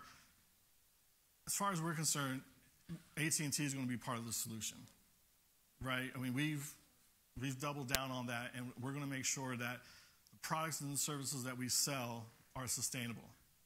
And so a lot of that manifests itself in terms of. So I talked a little bit about how we're going to reduce our own emissions, is reducing the emissions of others. And this is our gigaton goal. So we have a gigaton goal, which basically says we're going to help reduce our customers' emissions by one gigaton of CO2e. And that's really, really important. And it's, it's one of those few goals, quite honestly, that a, company like AT&T has set, and we don't know exactly how we're going to get there, but that's important, right? That's where the sustainable professional comes in, maybe pushes a little more than we're always comfortable, is we don't have the perfect roadmap how to get there, but we're really confident that we can. And how we're going to do that is, is again, transparently demonstrate through calculations, through things that are easily accessible on our website now in terms of methodologies, how we are reducing our customers' greenhouse gas emissions. And it's not just about um, AT&T providing the connectivity. That's important, but it goes well beyond that, right? Innovation happens when you have collaboration, research, solutions that ultimately disrupt what's happening today. So that's going to be a, major part of it for us as well.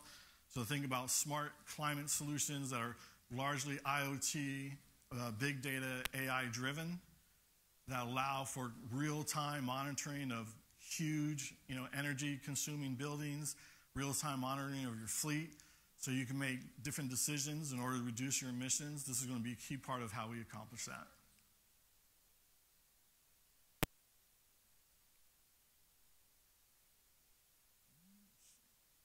Uh, we talked about support from the top for our company. It doesn't get any uh, higher than this.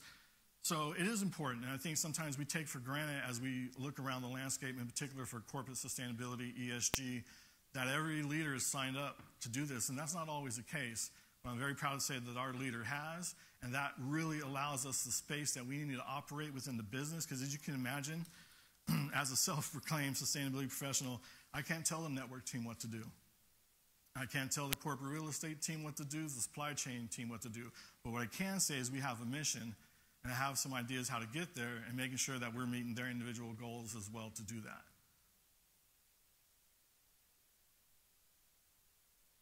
So I'd like to play a quick video that really talks about our climate resiliency efforts. It's going to say it better than I could. AT&T is building climate resilience and preparing for the challenges of tomorrow. In 1990, the U.S. had three disasters with damages totaling $1 billion each. In 2019, we were up to $14 billion disasters. That's why we're working with experts at the U.S. Department of Energy's Argonne National Laboratory to project how climate change will drive extreme weather in the future. Using data from Argonne's supercomputer, we can now see where utility poles are threatened by hurricanes or cell sites are at risk of flooding. These insights tell us where we need to take actions, like moving cables underground. More resilient equipment means we can deliver the services our customers need amid the extreme weather events that lie ahead. And better data means better decisions. As we build out our network across the country, we can now factor wildfire risk and flood projections into our design. We believe in helping others prepare for their own future climate challenges, so we are making our data available to everyone.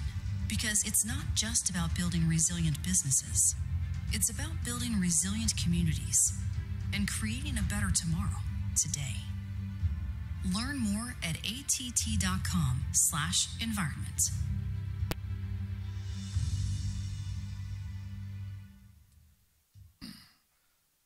So, um, what that video is, is, now getting into, right, is climate adaptation or resiliency. So, I've talked a lot about, you know, reducing our emissions both within our operations, which is really important because you got to take care of your backyard first. Also, how are we going to reduce the emissions of our customers?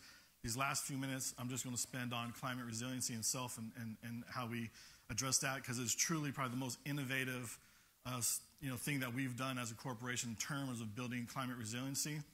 A lot of entities, what they do when they do their climate risk assessment, they get generally available climate data, which is good science, good data. But oftentimes, what you'll get is at a regional level, maybe at a state level, and rarely at a city level.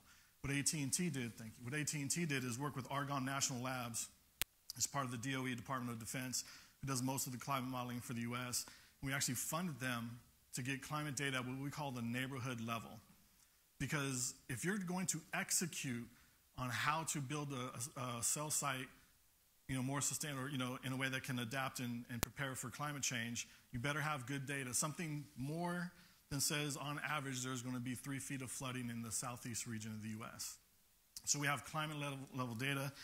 Uh, for coastal flooding, it gets down within just a few meters. Uh, for inland flooding, we get down to uh, 200 meters. Um, and then where we need to, a little more space because the science is really difficult, um, in terms of drought, wildfire, wind, we can get within a 12 kilometer grid cell. But what that allows you to do is now make climate data decisions. So think about the infrastructure that we have cell towers, and for most of you who work in particular neighborhoods, you see not only the cell towers, or if you live in neighborhoods, uh, traditional neighborhood, you'll see all the little green boxes everywhere. They vary in size, they do slightly different functions, but they're all susceptible to climate risks and all the ones we talked about flood, wildfire, drought, all of that. So now we have the ability, working with Argonne National Lab, and overlaying that into our GIS mapping systems, our global um, geographic information systems, just mapping systems. So you can now pull up a map with all of our infrastructure, click on that climate data, and now you have an overlay that tells you exactly where, where all the particular parts of the network is, is located, what's the risk to that. Three years ago, that was very innovative approach. But what we've realized now is that's not good enough. So we're innovating in new ways. And a lot of it is working with, continuing with Argonne National Labs and the business, right? Because we need the business to make these decisions. So it's not just saying to, uh, say, um, a network engineer who's putting up a, a, new tower somewhere, some new fiber somewhere. It's not just saying, hey, by the way, there's going to be three feet of flooding at this location.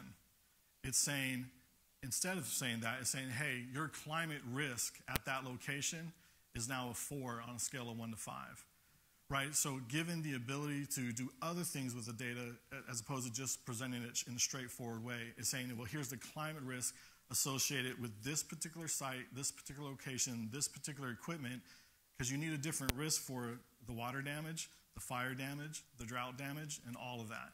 So, this is an area where we're pushing ourselves and challenging ourselves to do more and more and more. The good thing is, uh, from my perspective, is very early on, we realized we were quite literally getting the best available climate data in the world at a, at a level, you know, 12 meters or 12 kilometers uh, within a few meters, depending on what it was. Do we keep that as a competitive advantage or do we send that out to the world? And very early on, we sent that out to the world, and I like to say it's kind of the best kept secret. So the first thing we did was a pilot for the southeast region of the United States Florida, Georgia, North Carolina, South Carolina. And we have climate data right now on our website that's, download, that's downloadable for anybody, any research university, any municipality. They have the same data sets. For the most part, they're giant data sets, we have to make them um, usable. But the same data, data sets that we paid Argonne to provide for us, we provide free to anybody who wants them. Now, the average person is probably not going to download them and do anything with it, but again, think universities, municipalities. So the entire state of Florida, including Miami, we have all those data sets, and we provide those. And a big part of what we try to do is, again, look inward first, because you have to. It's okay, it's okay to be selfish from, selfish from that perspective, but then you have to look outward. So we are constantly working with different municipalities, different NGOs, different companies to promote the use of this data. Um, we are, I mentioned the pilot for four states, and I'll finish on this. We actually will have a complete data set for the contiguous 48 that covers all those climate risk areas that I mentioned before this year, and it'll be all downloadable to anybody who wants to use it. So, again, any university, any municipality, any competitor, any utility, they can grab this data and hopefully prepare for climate resiliency in the way that we have. So hopefully I've connected some dots for you in terms of the importance of, of this work within you know, the corporate structure, the importance of the folks in this room who do sustainability as a living and maybe want to do sustainability as a living to push corporations to do more. And when we have that combination, this, these are the type of things we can uh, achieve. So I'll thank you very much and happy to take questions maybe off to the side at some other point. Thank you.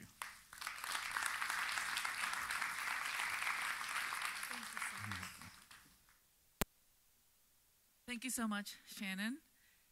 Okay, so it's been great, right? We've been, we, we've been receiving so much wonderful information from all of our speakers so far. And our next speaker will be joining us online.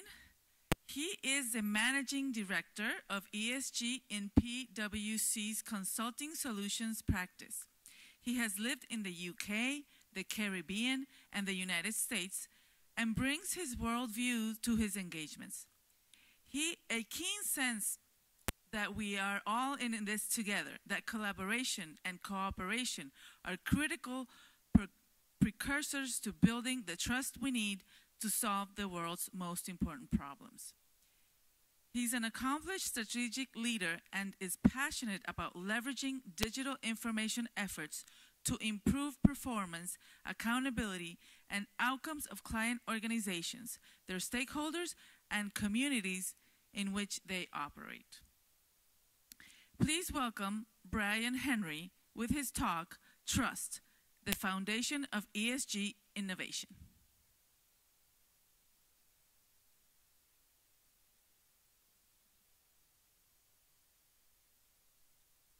To all of you. wish you could be there in person. But if it's one thing the pandemic taught us, is that remote ways of communicating, uh, having systems that allow us to make decisions and collaborate effectively, has definitely accelerated those. So, in a sense, the pandemic has helped me trim my carbon footprint today. So I feel like I'm doing my part uh, for the earth. You know, it's really, really good to be here to have a conversation and to talk about some of the things that are critically important to us. Again, this is Earth Day. And uh, if the Earth ever deserved a day, uh, it's now. We all know the challenges. We're here talking about not just the ESG challenges at a broad level, but also in our communities and many of the efforts that are being celebrated here by Premios Verdes among the individuals and their communities and in their cities, some of those smaller efforts, all of which help us do the responsible and right thing. Among the things I'll be talking about today are some of the enablers that will help us to unlock um, the potential of sustainable climate tech for good.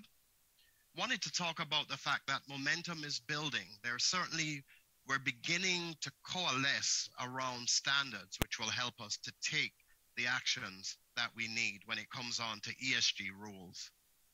Wanted to also talk a little bit about the collaboration that we're seeing. You're seeing a lot of it at this conference and in your communities with NGOs and other groups, but also in other spaces. A lot of collaboration is happening to simplify the playing field and to accelerate the implementation of ESG standards. I'll talk about four actions that any organization can take in response to the IPCC um, panel on climate change, their findings, that working group, working group three, that was launched recently.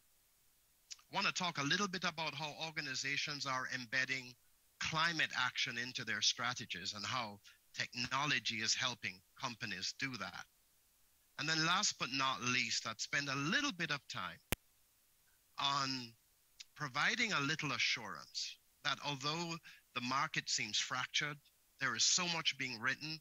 There is so much energy and passion and information about ESG that's out there.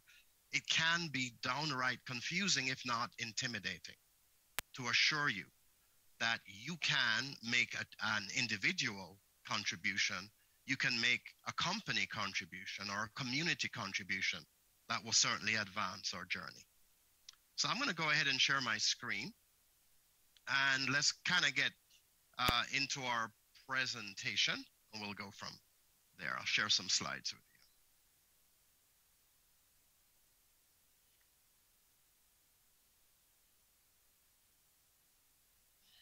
you. Okay. So we kind of talked about this, so I'll, I'll kind of move our way through the items that we'll be talking about. Wanted to spend just a little bit of time on these items. Uh, the eight key enablers that will help us to unlock the potential of sustainable climate tech for good. And some key things are, as you will notice, uh, you're seeing on the screen, leadership.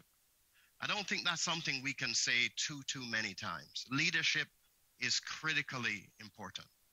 And the leadership, the responsible use of technology, and being able to use public private commitments, the partnerships that we have, the vision to keep going even when it becomes tough is going to be critical to us being able to achieve our goals. Of course, skills are critical, and no organization has all the skills it needs, and likely will never have them. So that is also unlocking the need for collaboration across sectors, between sectors, across industries, so that we can answer some of those difficult challenges we have in front of us. Finance plays a critical role as the third enabler.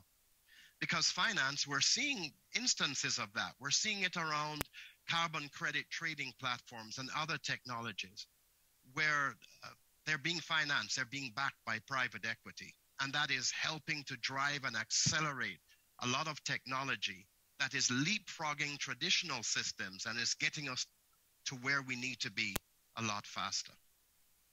Of course, we talk about data and tools, and I noticed uh, in some of the conversations that preceded this, including the one by Shannon, that the ability to democratize data, to make data that is locked up behind firewalls, uh, so much data that's available that we could be using, we could be querying, we could be analyzing to unlock problems that we're facing. That if we can democratize those in a way that companies' IP is protected, but yet that data is shared for the common good, it will certainly help us in various ways. It will give us the information we need to make good public-private data agreements. It will provide more seed data for the R&D agenda that we have so we can do more research on broader data sets that we can train on AI and machine learning um, so we can come to the answers we need much faster. And as we've kind of touched on, to push through the public policy updates that we need to make it easier for governments and other communities uh, to standardize the behaviors that we need to make the, the gains in decarbonizing our Earth. Partnerships and coalitions, we'll touch on that one specifically with regard to some of these um, changes we're seeing and agreements that we're seeing uh, around uh, ESG commitments and around the rules of the game, and I'll talk a little bit about that. And then responsible tech governance. I think in our lifetimes, we've all seen the impact of technology itself. It has a dark side. Um, when it comes on to show social media, it's created industries and products that we never thought could exist. But at the same time, if we're not responsible with the use of technology, it can have unanticipated and unwanted effects. And so we'll talk just briefly about that as well. But here's great news. We talked about that sense of urgency and agreement on a common set of rules. And let me start with the urgency. The IPCC, the Intergovernmental Panel on Climate Change, their working group, that third working group, on April the 4th, told us what we really needed to hear, which was emissions can peak by 2025. But then we need to halve those emissions by 2030 in order to avoid the climate change scenarios that, again, we just heard from Shannon and others. It is something that we have to do. So, what does it mean in terms of time and urgency? We have very little time to baseline our carbon footprint and then to drastically begin to reduce it. Now, what's going to help us do that? Well, on the top of the slide, you'll see we talked about the SEC climate disclosure proposal that talks about scope one and two, but really gets into what will be required under scope three reporting. And it really settles the market down because now everyone knows what will be required. We won't, again, as has been said, it won't be enough to say I'm carbon neutral. We're going to have to dive deeply into the scope three, look at those supply chains, upstream and downstream, and be clear and specific about what we're reporting. And it has to be of auditable quality, investor grade quality. And then a week after March 31st, 10 days or so, the ISSB proposed two sustainability standards one a more general sustainability standard, and the other much more focused on climate change that will provide the basis again for agreement on what needs to be done. One quick note uh, it's an alphabet soup of agencies and standards boards and others. And there are several on this page, and you'll see others in this presentation. Why is this so critically important? Well, I'll remind you, and I'll use an example using football or, or soccer, uh, depending on what you want to call it. Back in 1986, on June the 22nd to be exact, there was a great football match between Argentina and England. And you might remember a young, dashing 25 year old Diego Maradona, uh, arguably the best football player the world had ever seen, certainly up until that point, put on a display. The second goal was one that uh, he scored that was maybe the greatest goal of all time. The first one, lots of questions about that. In fact, Maradona himself referred to it as the hand of God. If you ask even today, so many years later, millions of people will tell you that was a great goal, and millions of others will tell you it was handball. That should not have counted. Why am I mentioning this in the context? Because referees, rules, fairness count. If we're on the field of play and we can't trust the rules or the officials, and we think that those are against us, we'll disengage. And that would be a critical mistake. So today, we have goal line technology to tell us if the ball did indeed pass more than half of it go into the goal. Now we have VAR, which is using 3D technology and high depth uh, HD cameras to let us know exactly whether or not the player was onside or offside. And a lot of that is being automated. Let us ride this wave where we're using the arbiters, those the rules and the referees to make sure that we're holding people accountable to operate by a common set of rules so that none of us disengage in this most important journey. And again, more, uh, this slide is just here to talk about the fact that these referees, these arbiters, these associations of individuals who come together to standardize the playing field, to agree on the science and what those standards should be we need them to keep the field of play clear and so that those advances uh, can actually be documented. Now, here are the four actions we can take uh, in response to that latest IPCC report we refer to. The first thing is that we have to understand the potential impacts to our business across both physical and transition risks, and you heard that in the previous uh, um, presentation just a while ago. Uh, many companies are doing that as they have to. It's the right thing that they're doing for their internal populations and their stakeholders. Each company uh, owes itself, each organization needs to baseline its physical risk and the financial impact of that risk based on a variety of scenarios. The second thing that must be done is to use science aligned ways to decarbonize the business. So, committing to science um, based targets, using those science based emission reduction targets and measuring your carbon footprint and using strategies aligned with those to make sure that what you're putting out there, what you're setting as a target, is reasonable, it's verifiable, and it's auditable, i.e., can be trusted. The third thing, a theme that you've heard again today, is to enhance resilience. So, after having done the work of understanding the physical and transition risks inherent in this carbon heavy, heavy environment we live in, what are you doing to future proof and to reduce the vulnerability of your asset? And that may mean some operational changes, some philosophical changes.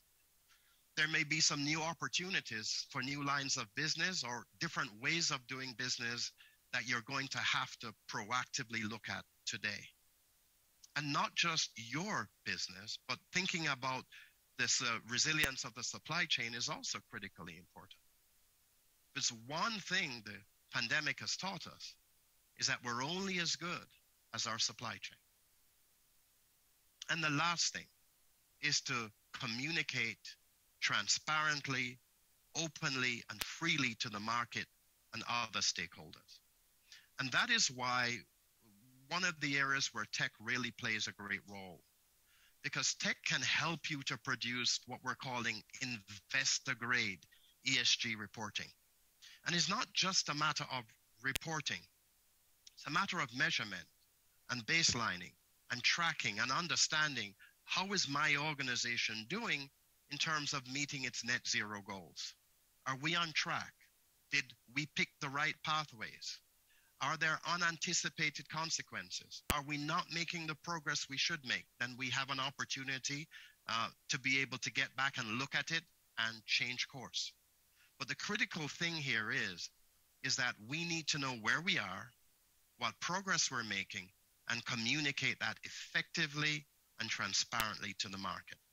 And that is something that will continue to increase confidence that the market has in us. Now, how do you do it? There's a lot of boxes on this slide. But I'd like you to just think about the ones where it talks about the key steps. Uh, we've mentioned one already baselining. The second, strategy. The third, your roadmap. Now, based on that strategy, where you literally put your objectives on a timeline and define those to a, to a degree of specificity. And then you figure out how you're going to operation, operationalize and implement those strategies. And then you're going to report out internally and externally uh, to both um, to all of your stakeholders as well as to others on how you're doing. If you look at the building blocks under each of those phases, shall we say, uh, the, the ones that are highlighted are the ones where tech plays a, a massive role. In terms of baselining data, there's nothing like benchmarking. Not just your own performance, but med- benchmarking against your peers across your sector. In terms of strategy, you got to do a materiality and risk assessment, which again uses tech and data to give you the baseline information you need and give you some of the answers, help you set the targets that you're driving towards. In your transformation roadmap, you're looking at what your levers are and how you prioritize what you need to accomplish. And then you'll eventually also look at how you finance and build capability uh, so that you can deliver on those roadmap items. One of the very interesting phases is the fourth one how you operationalize and implement. And that isn't just about bolting ESG on to everything else you do as a, as a company. It's about understanding how ESG transforms the way you operate. It impacts the governance and the culture of your organization. It impacts your business processes and, and how you integrate internally. And it has a strong impact on your technology backbone so that when you're making business decisions, when you're planning, and when you're executing, you understand the ESG impact of each of those in close to real time. And then, of course, on the reporting and communication, it's heavily tech enabled. But if you've done step four correctly, step five is frankly pretty easy to do. So, again, five main steps on how you can go from that vision to actually executing, measuring, and going into your continuous improvement loop. Not going to go through these, but I wanted to share this with you that in terms of the digital solution landscape, there are a lot of technologies which have made a lot of progress, whether it's ERP systems, ESG reporting solutions, GHG management systems, or others, you'll see a lot of names that you'll uh, you will have um, be familiar with, and maybe others you've never heard of. In other words, the ESG journey is on the way. Companies are making progress. Collaboration is taking place across multiple industries to pull together the products we need to help us be clear on making ESG progress in our corporations. So those are some.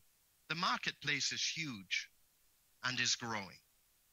And that's one of the things that struck me is that the more we care and the more we read is the more there is to learn. Is the more data there is for us to be analyzing and collecting and reporting out on, and the more tools and solutions that there appear to be. This can very easily become a source of um, fear, can be overwhelming, can put you in a position where you're not sure where you want to start. So we're just going to bring it right back to the basics. How do we begin to use climate tech for good? What does that process look like, no matter what we do? Well, you'll see it here in the four steps that we've laid out in front of you. Your requirements and benchmarking is critical. Where am I? How did we get here? What's our carbon footprint? What do we need to do? Do we understand the business workflows and what those workflows are producing and how those workflows uh, and, uh, impact our carbon footprint? So we do that. We do the risk assessments and we know where we are and what we have to do. Then we go through the gap analysis phase. What do I need so that I can either measure more effectively or begin to make the changes to decarbonize, to move away from, to pick the pathways away from heavy carbon content to decarbonizing how I operate my business, to looking at other solutions and other ways of, of doing my business. And that may mean talking to vendors, with, whether it's with RFIs or RFPs, etc., uh, to get the, uh, the additional technological assistance you need. Once you've gotten those responses on the third step, then you have the ability to prioritize on what you would like to.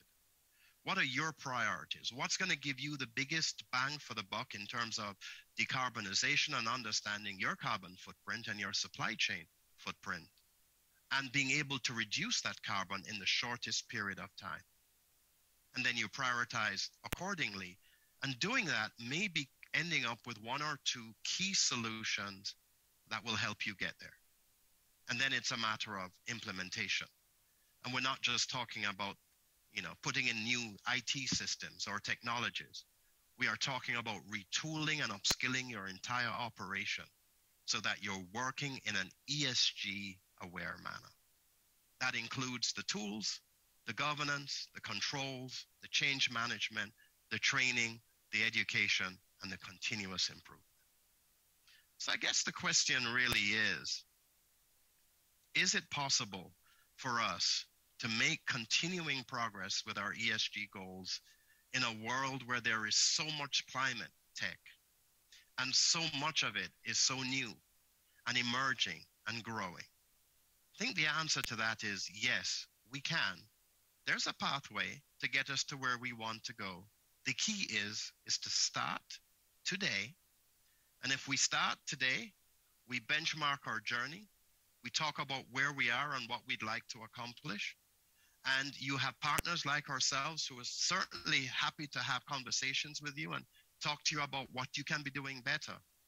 Then we can look forward to a time when we're talking about how much how much more quickly we can accelerate decarbonization and what do we need to, rather than what we need to do to start our journeys.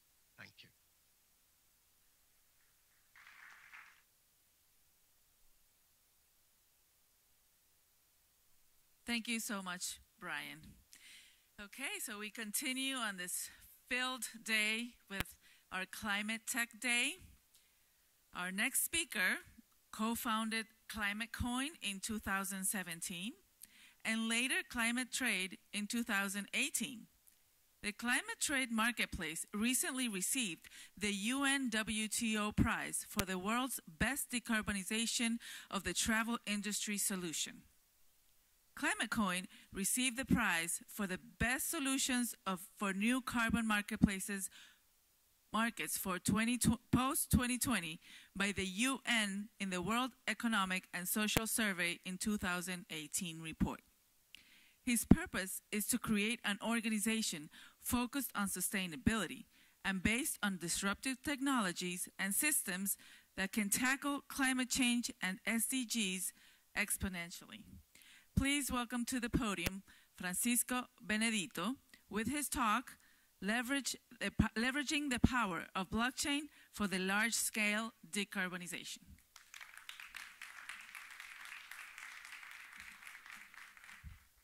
Well, thank you everyone, and thanks for the Premios Verdes, Jose Javier, and everyone to, uh, of the team for inviting us here today. It's great to be in Miami. It's our new house. We just moved to Miami and, and to the U.S. as a, uh, our whole company organization. So very happy to be here these days. And it was great to hear my, my friend Francis before. And uh, I normally, I, which is a person that I very admire, I, I hope, and, and I really see that he will be a president of the United States at some point, sometime in the future. So we agree in two things. We admire, both of us admire strongly to our parents, our father. And second thing, I don't like my hair to be touched. So that's great. So uh, I'm going to talk a little bit about climate tech. We've been leading innovation on the space since 2016. My partner Jose here, my partner Pedro, uh, who co-founded with me the company in 2017. We launched ClimateCoin. People, it was too early then. I remember going to San Francisco everywhere and talking about climate change. They were, Frank, I really like it. I like your suit. I don't believe in climate change. No. Now the story is totally different. Everyone is on this. Uh, and the, the narrative changed completely and we are in the right moment and uh, I'll, I'll, explain you some things about ClimateCoin later. So but today i'm focusing on what we did with climate trade which is the leading marketplace for carbon offsetting worldwide using blockchain technology. So i think that the best way to explain you is with a short video that uh, will permit me to, to start better with my presentation. You are here on the brink of a new era that finally brings technology in line with our planet's needs. Meet Climate Trade. Climate Trade is the first climate marketplace that enables companies to take direct action in the fight against global warming like never before. Our platform brings together the biggest sustainability projects in the world and guarantees investment and real cross cutting impact contributing to the SDGs. These investments allow our clients to meet their environmental commitments by offsetting their carbon footprint. Our API also allows complete integration with our clients' platforms so that their users can also offset their emissions and at the same time reinforce their corporate social strategy. Blockchain is the transactional revolution that has opened the doors to a fairer world and is the technological driving force chosen by Climate Trade for its unprecedented traceability of operations, removal of bureaucracy, and commitment to transparency.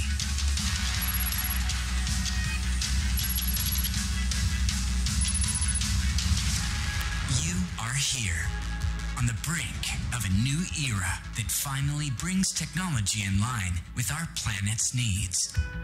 Join us for this transformation.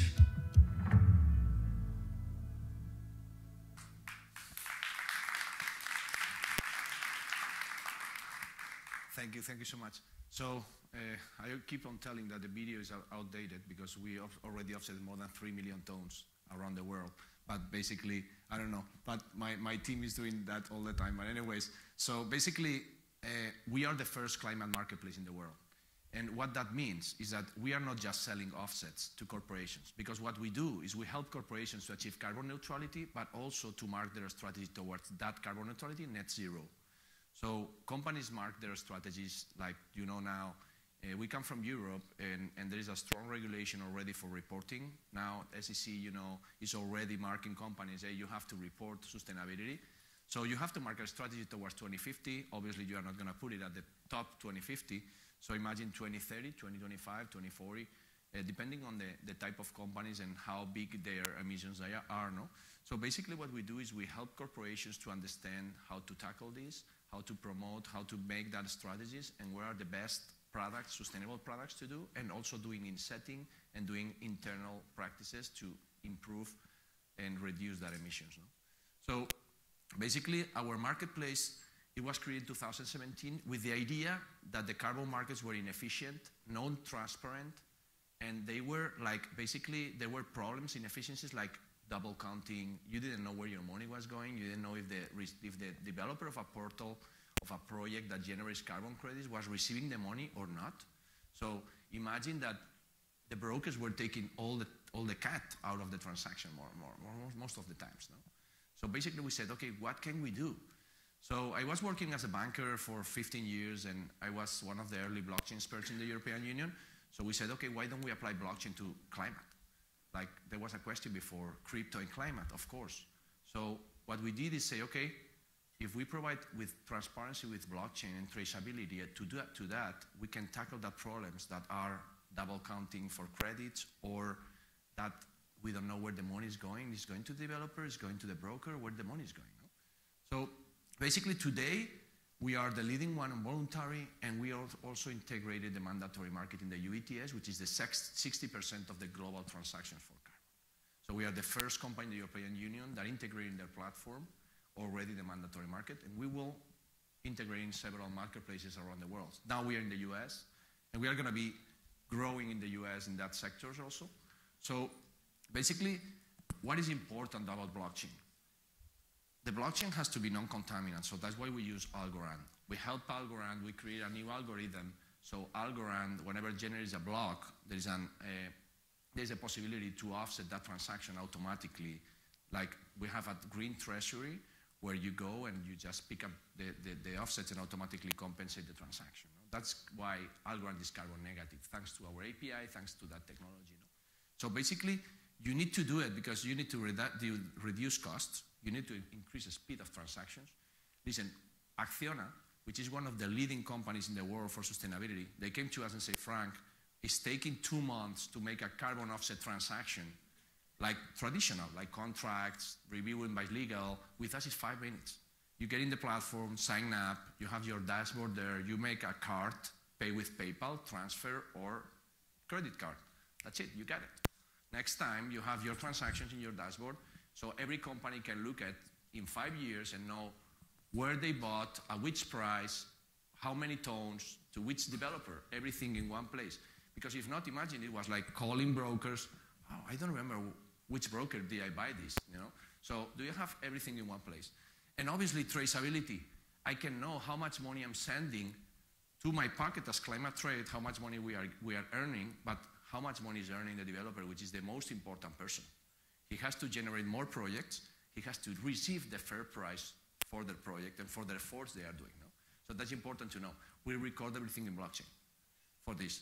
So basically, uh, today we've created the first NFT also for whenever you make a transaction in climate trade, you receive the certificate for your offset.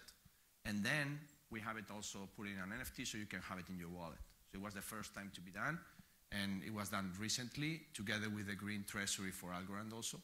So basically, what we have in the platform are like, in one side, developers of projects, in the other side, corporations all around the world. We just put them together. We are not brokers. We just are facilitators. So basically, we have more than 60 projects available today. Uh, there are hundreds around that we know of that they are not still in the platform, but we are now in conversations with pretty much 15,000 projects around the world that will be soon, not, I hope the 15,000, but it will be difficult, but probably 1,000, 1,500 in the coming months. So we are growing that part with all types of projects with different standards, but only certified projects. It has to be clear that it's very important that you need to have auditors that certify that that project is fair, that that project has, it takes care of what it has to take care, no? It has to capture or it has to gener- generate a project that uh, it has the SDGs involved around the project, and it has like all the quality standards necessary, like complement, already complemented, no? So we work with SGS, we work with Gold Standard, the UN, Verra, and, all the different American Carbon Registry, and all the standards that we that says that the quality project is there, no? The quality of the project is there. Uh, well, basically, all our projects have to have the SDGs involved. How do I measure if that project is not only carbon capture, is capturing CO2, but it is doing something for the community? And I put you an example. We are supporting one project in Peru, in the Madre de Dios area. There is a devastated area by the gold mining. It's very intensive on that. So the community, they are conserving Brazilian nuts trees. So just selling the nuts, they cannot survive. So they sell offsets, they conserve that area, they avoid people going and cut up the trees and make gold mining, and they create the schools, hospitals, and they survive as a community, no? Because, uh, so together with that, in 2018, when I was flying to the COP, we are sponsors of the COP already since 2017. So I was going to Bonn, and I was flying with Ryanair and they say, okay, do you want to pay five euros for offsetting? Say, yeah, let's try what they are doing. No?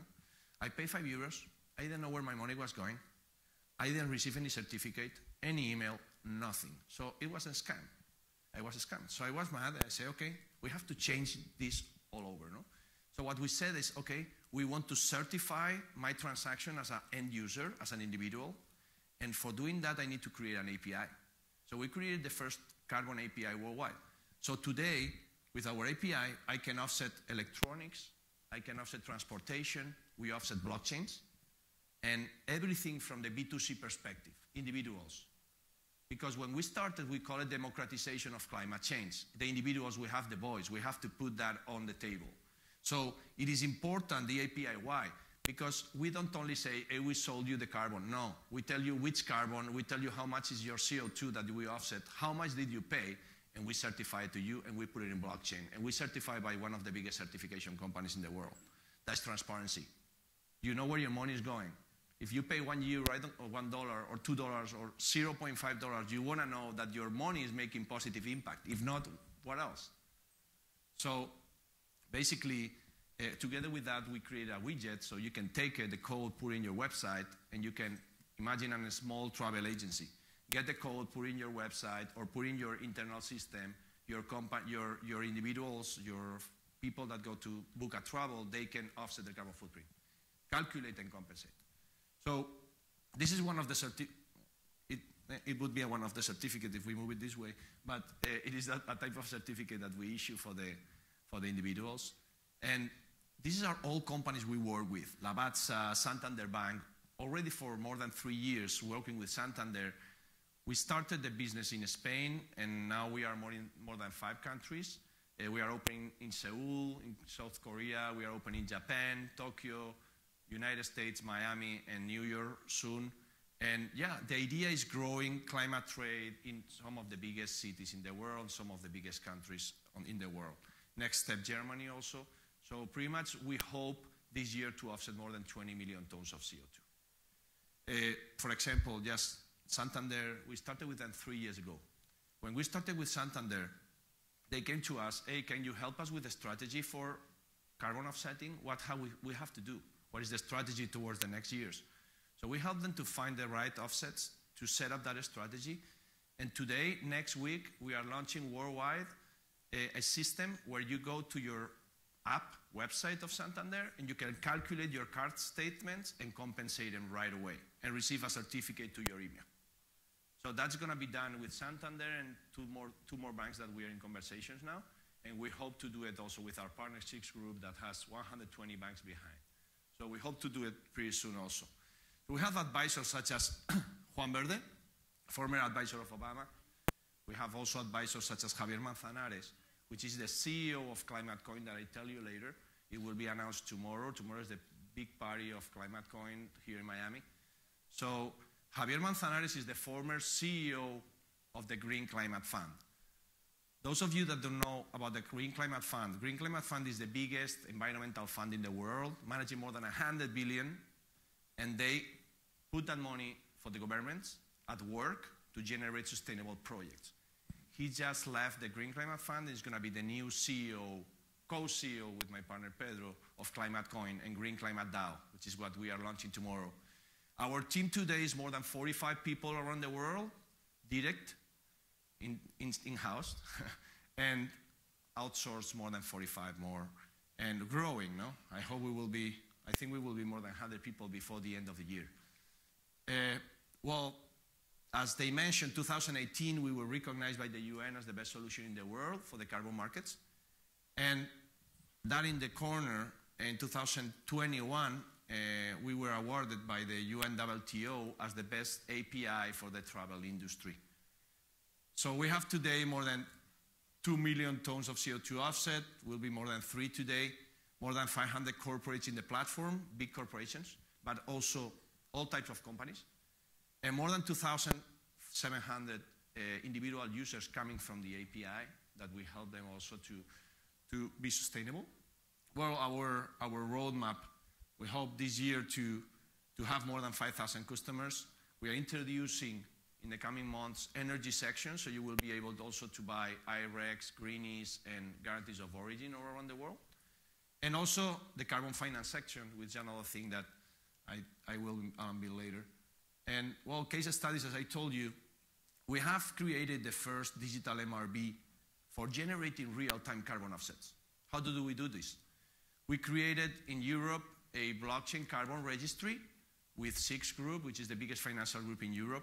So basically what we do is we connect solar plants. It was a POC, but we created that we can connect with forestry through drones and satellites. We do it with agroforestry, AFOLU. We do it with mangroves. So we can select and we can generate in real time with digital MRV. We introduce there the certification company, register it, and put it on sale on climate trade, real time. So we did a test with solar because obviously the inverters and the smart meters is easier to do and now we are progressing to do it with other systems. And basically, corporate events with Iberia and all that are carbon neutral thanks to us. With Iberia, once you grab a, grab a flight before COVID, that the COVID came and screw up everything. But so, and then we do it with Cabify, which is the, if, if you guys don't know, is like the uh, Latin American and Spanish Uber.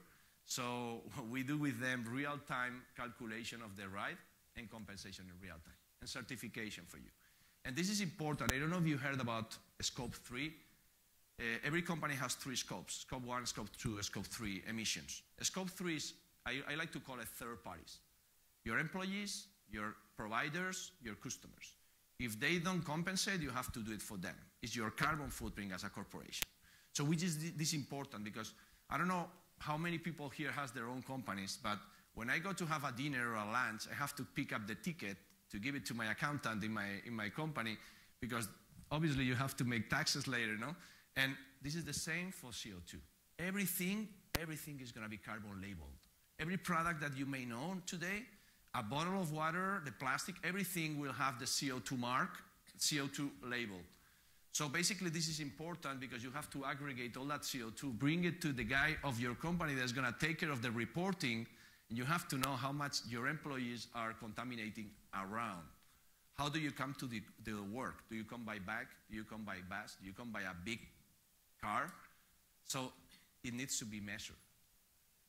So we do that with electronics also, as I told you. You buy a device, calculate and compensate, and receive a certificate. We do that with hotels. We just closed in Mexico. All hotels in the Riviera Maya are going to be calculating and compensating every single booking that they go there. It's going to be announced next week.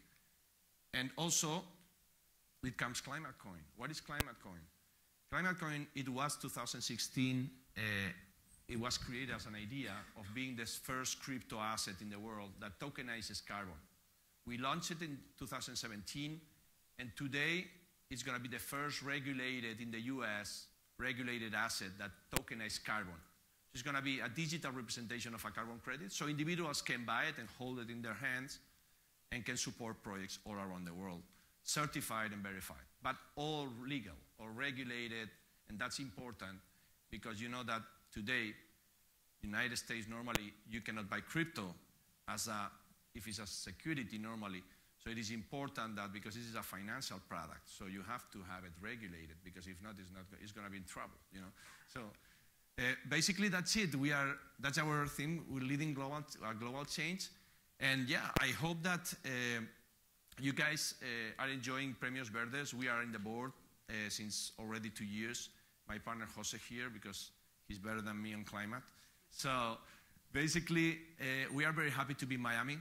Uh, we hope to be now uh, like more involved in everything related to climate, both climate coin and climate trade. And I always like to say that climate solution is about small efforts by all of us, but they have to generate positive impact. So we need to look also and always the impact that we are generating in our actions. That's basic.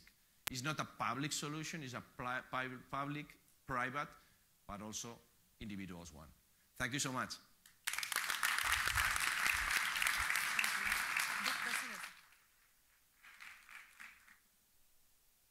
Thank you, Francisco. That was very enlightening. So, are we ready for the last talk of the day, our master class? We can't go on without thanking our sponsors. So I'd like to take a little moment to acknowledge them. And building these activities benefiting the sustainability of startups and entrepreneurs is possible thanks to the support of Algorand, the City of Miami Mayor's Office, the Municipality of Guayaquil, the United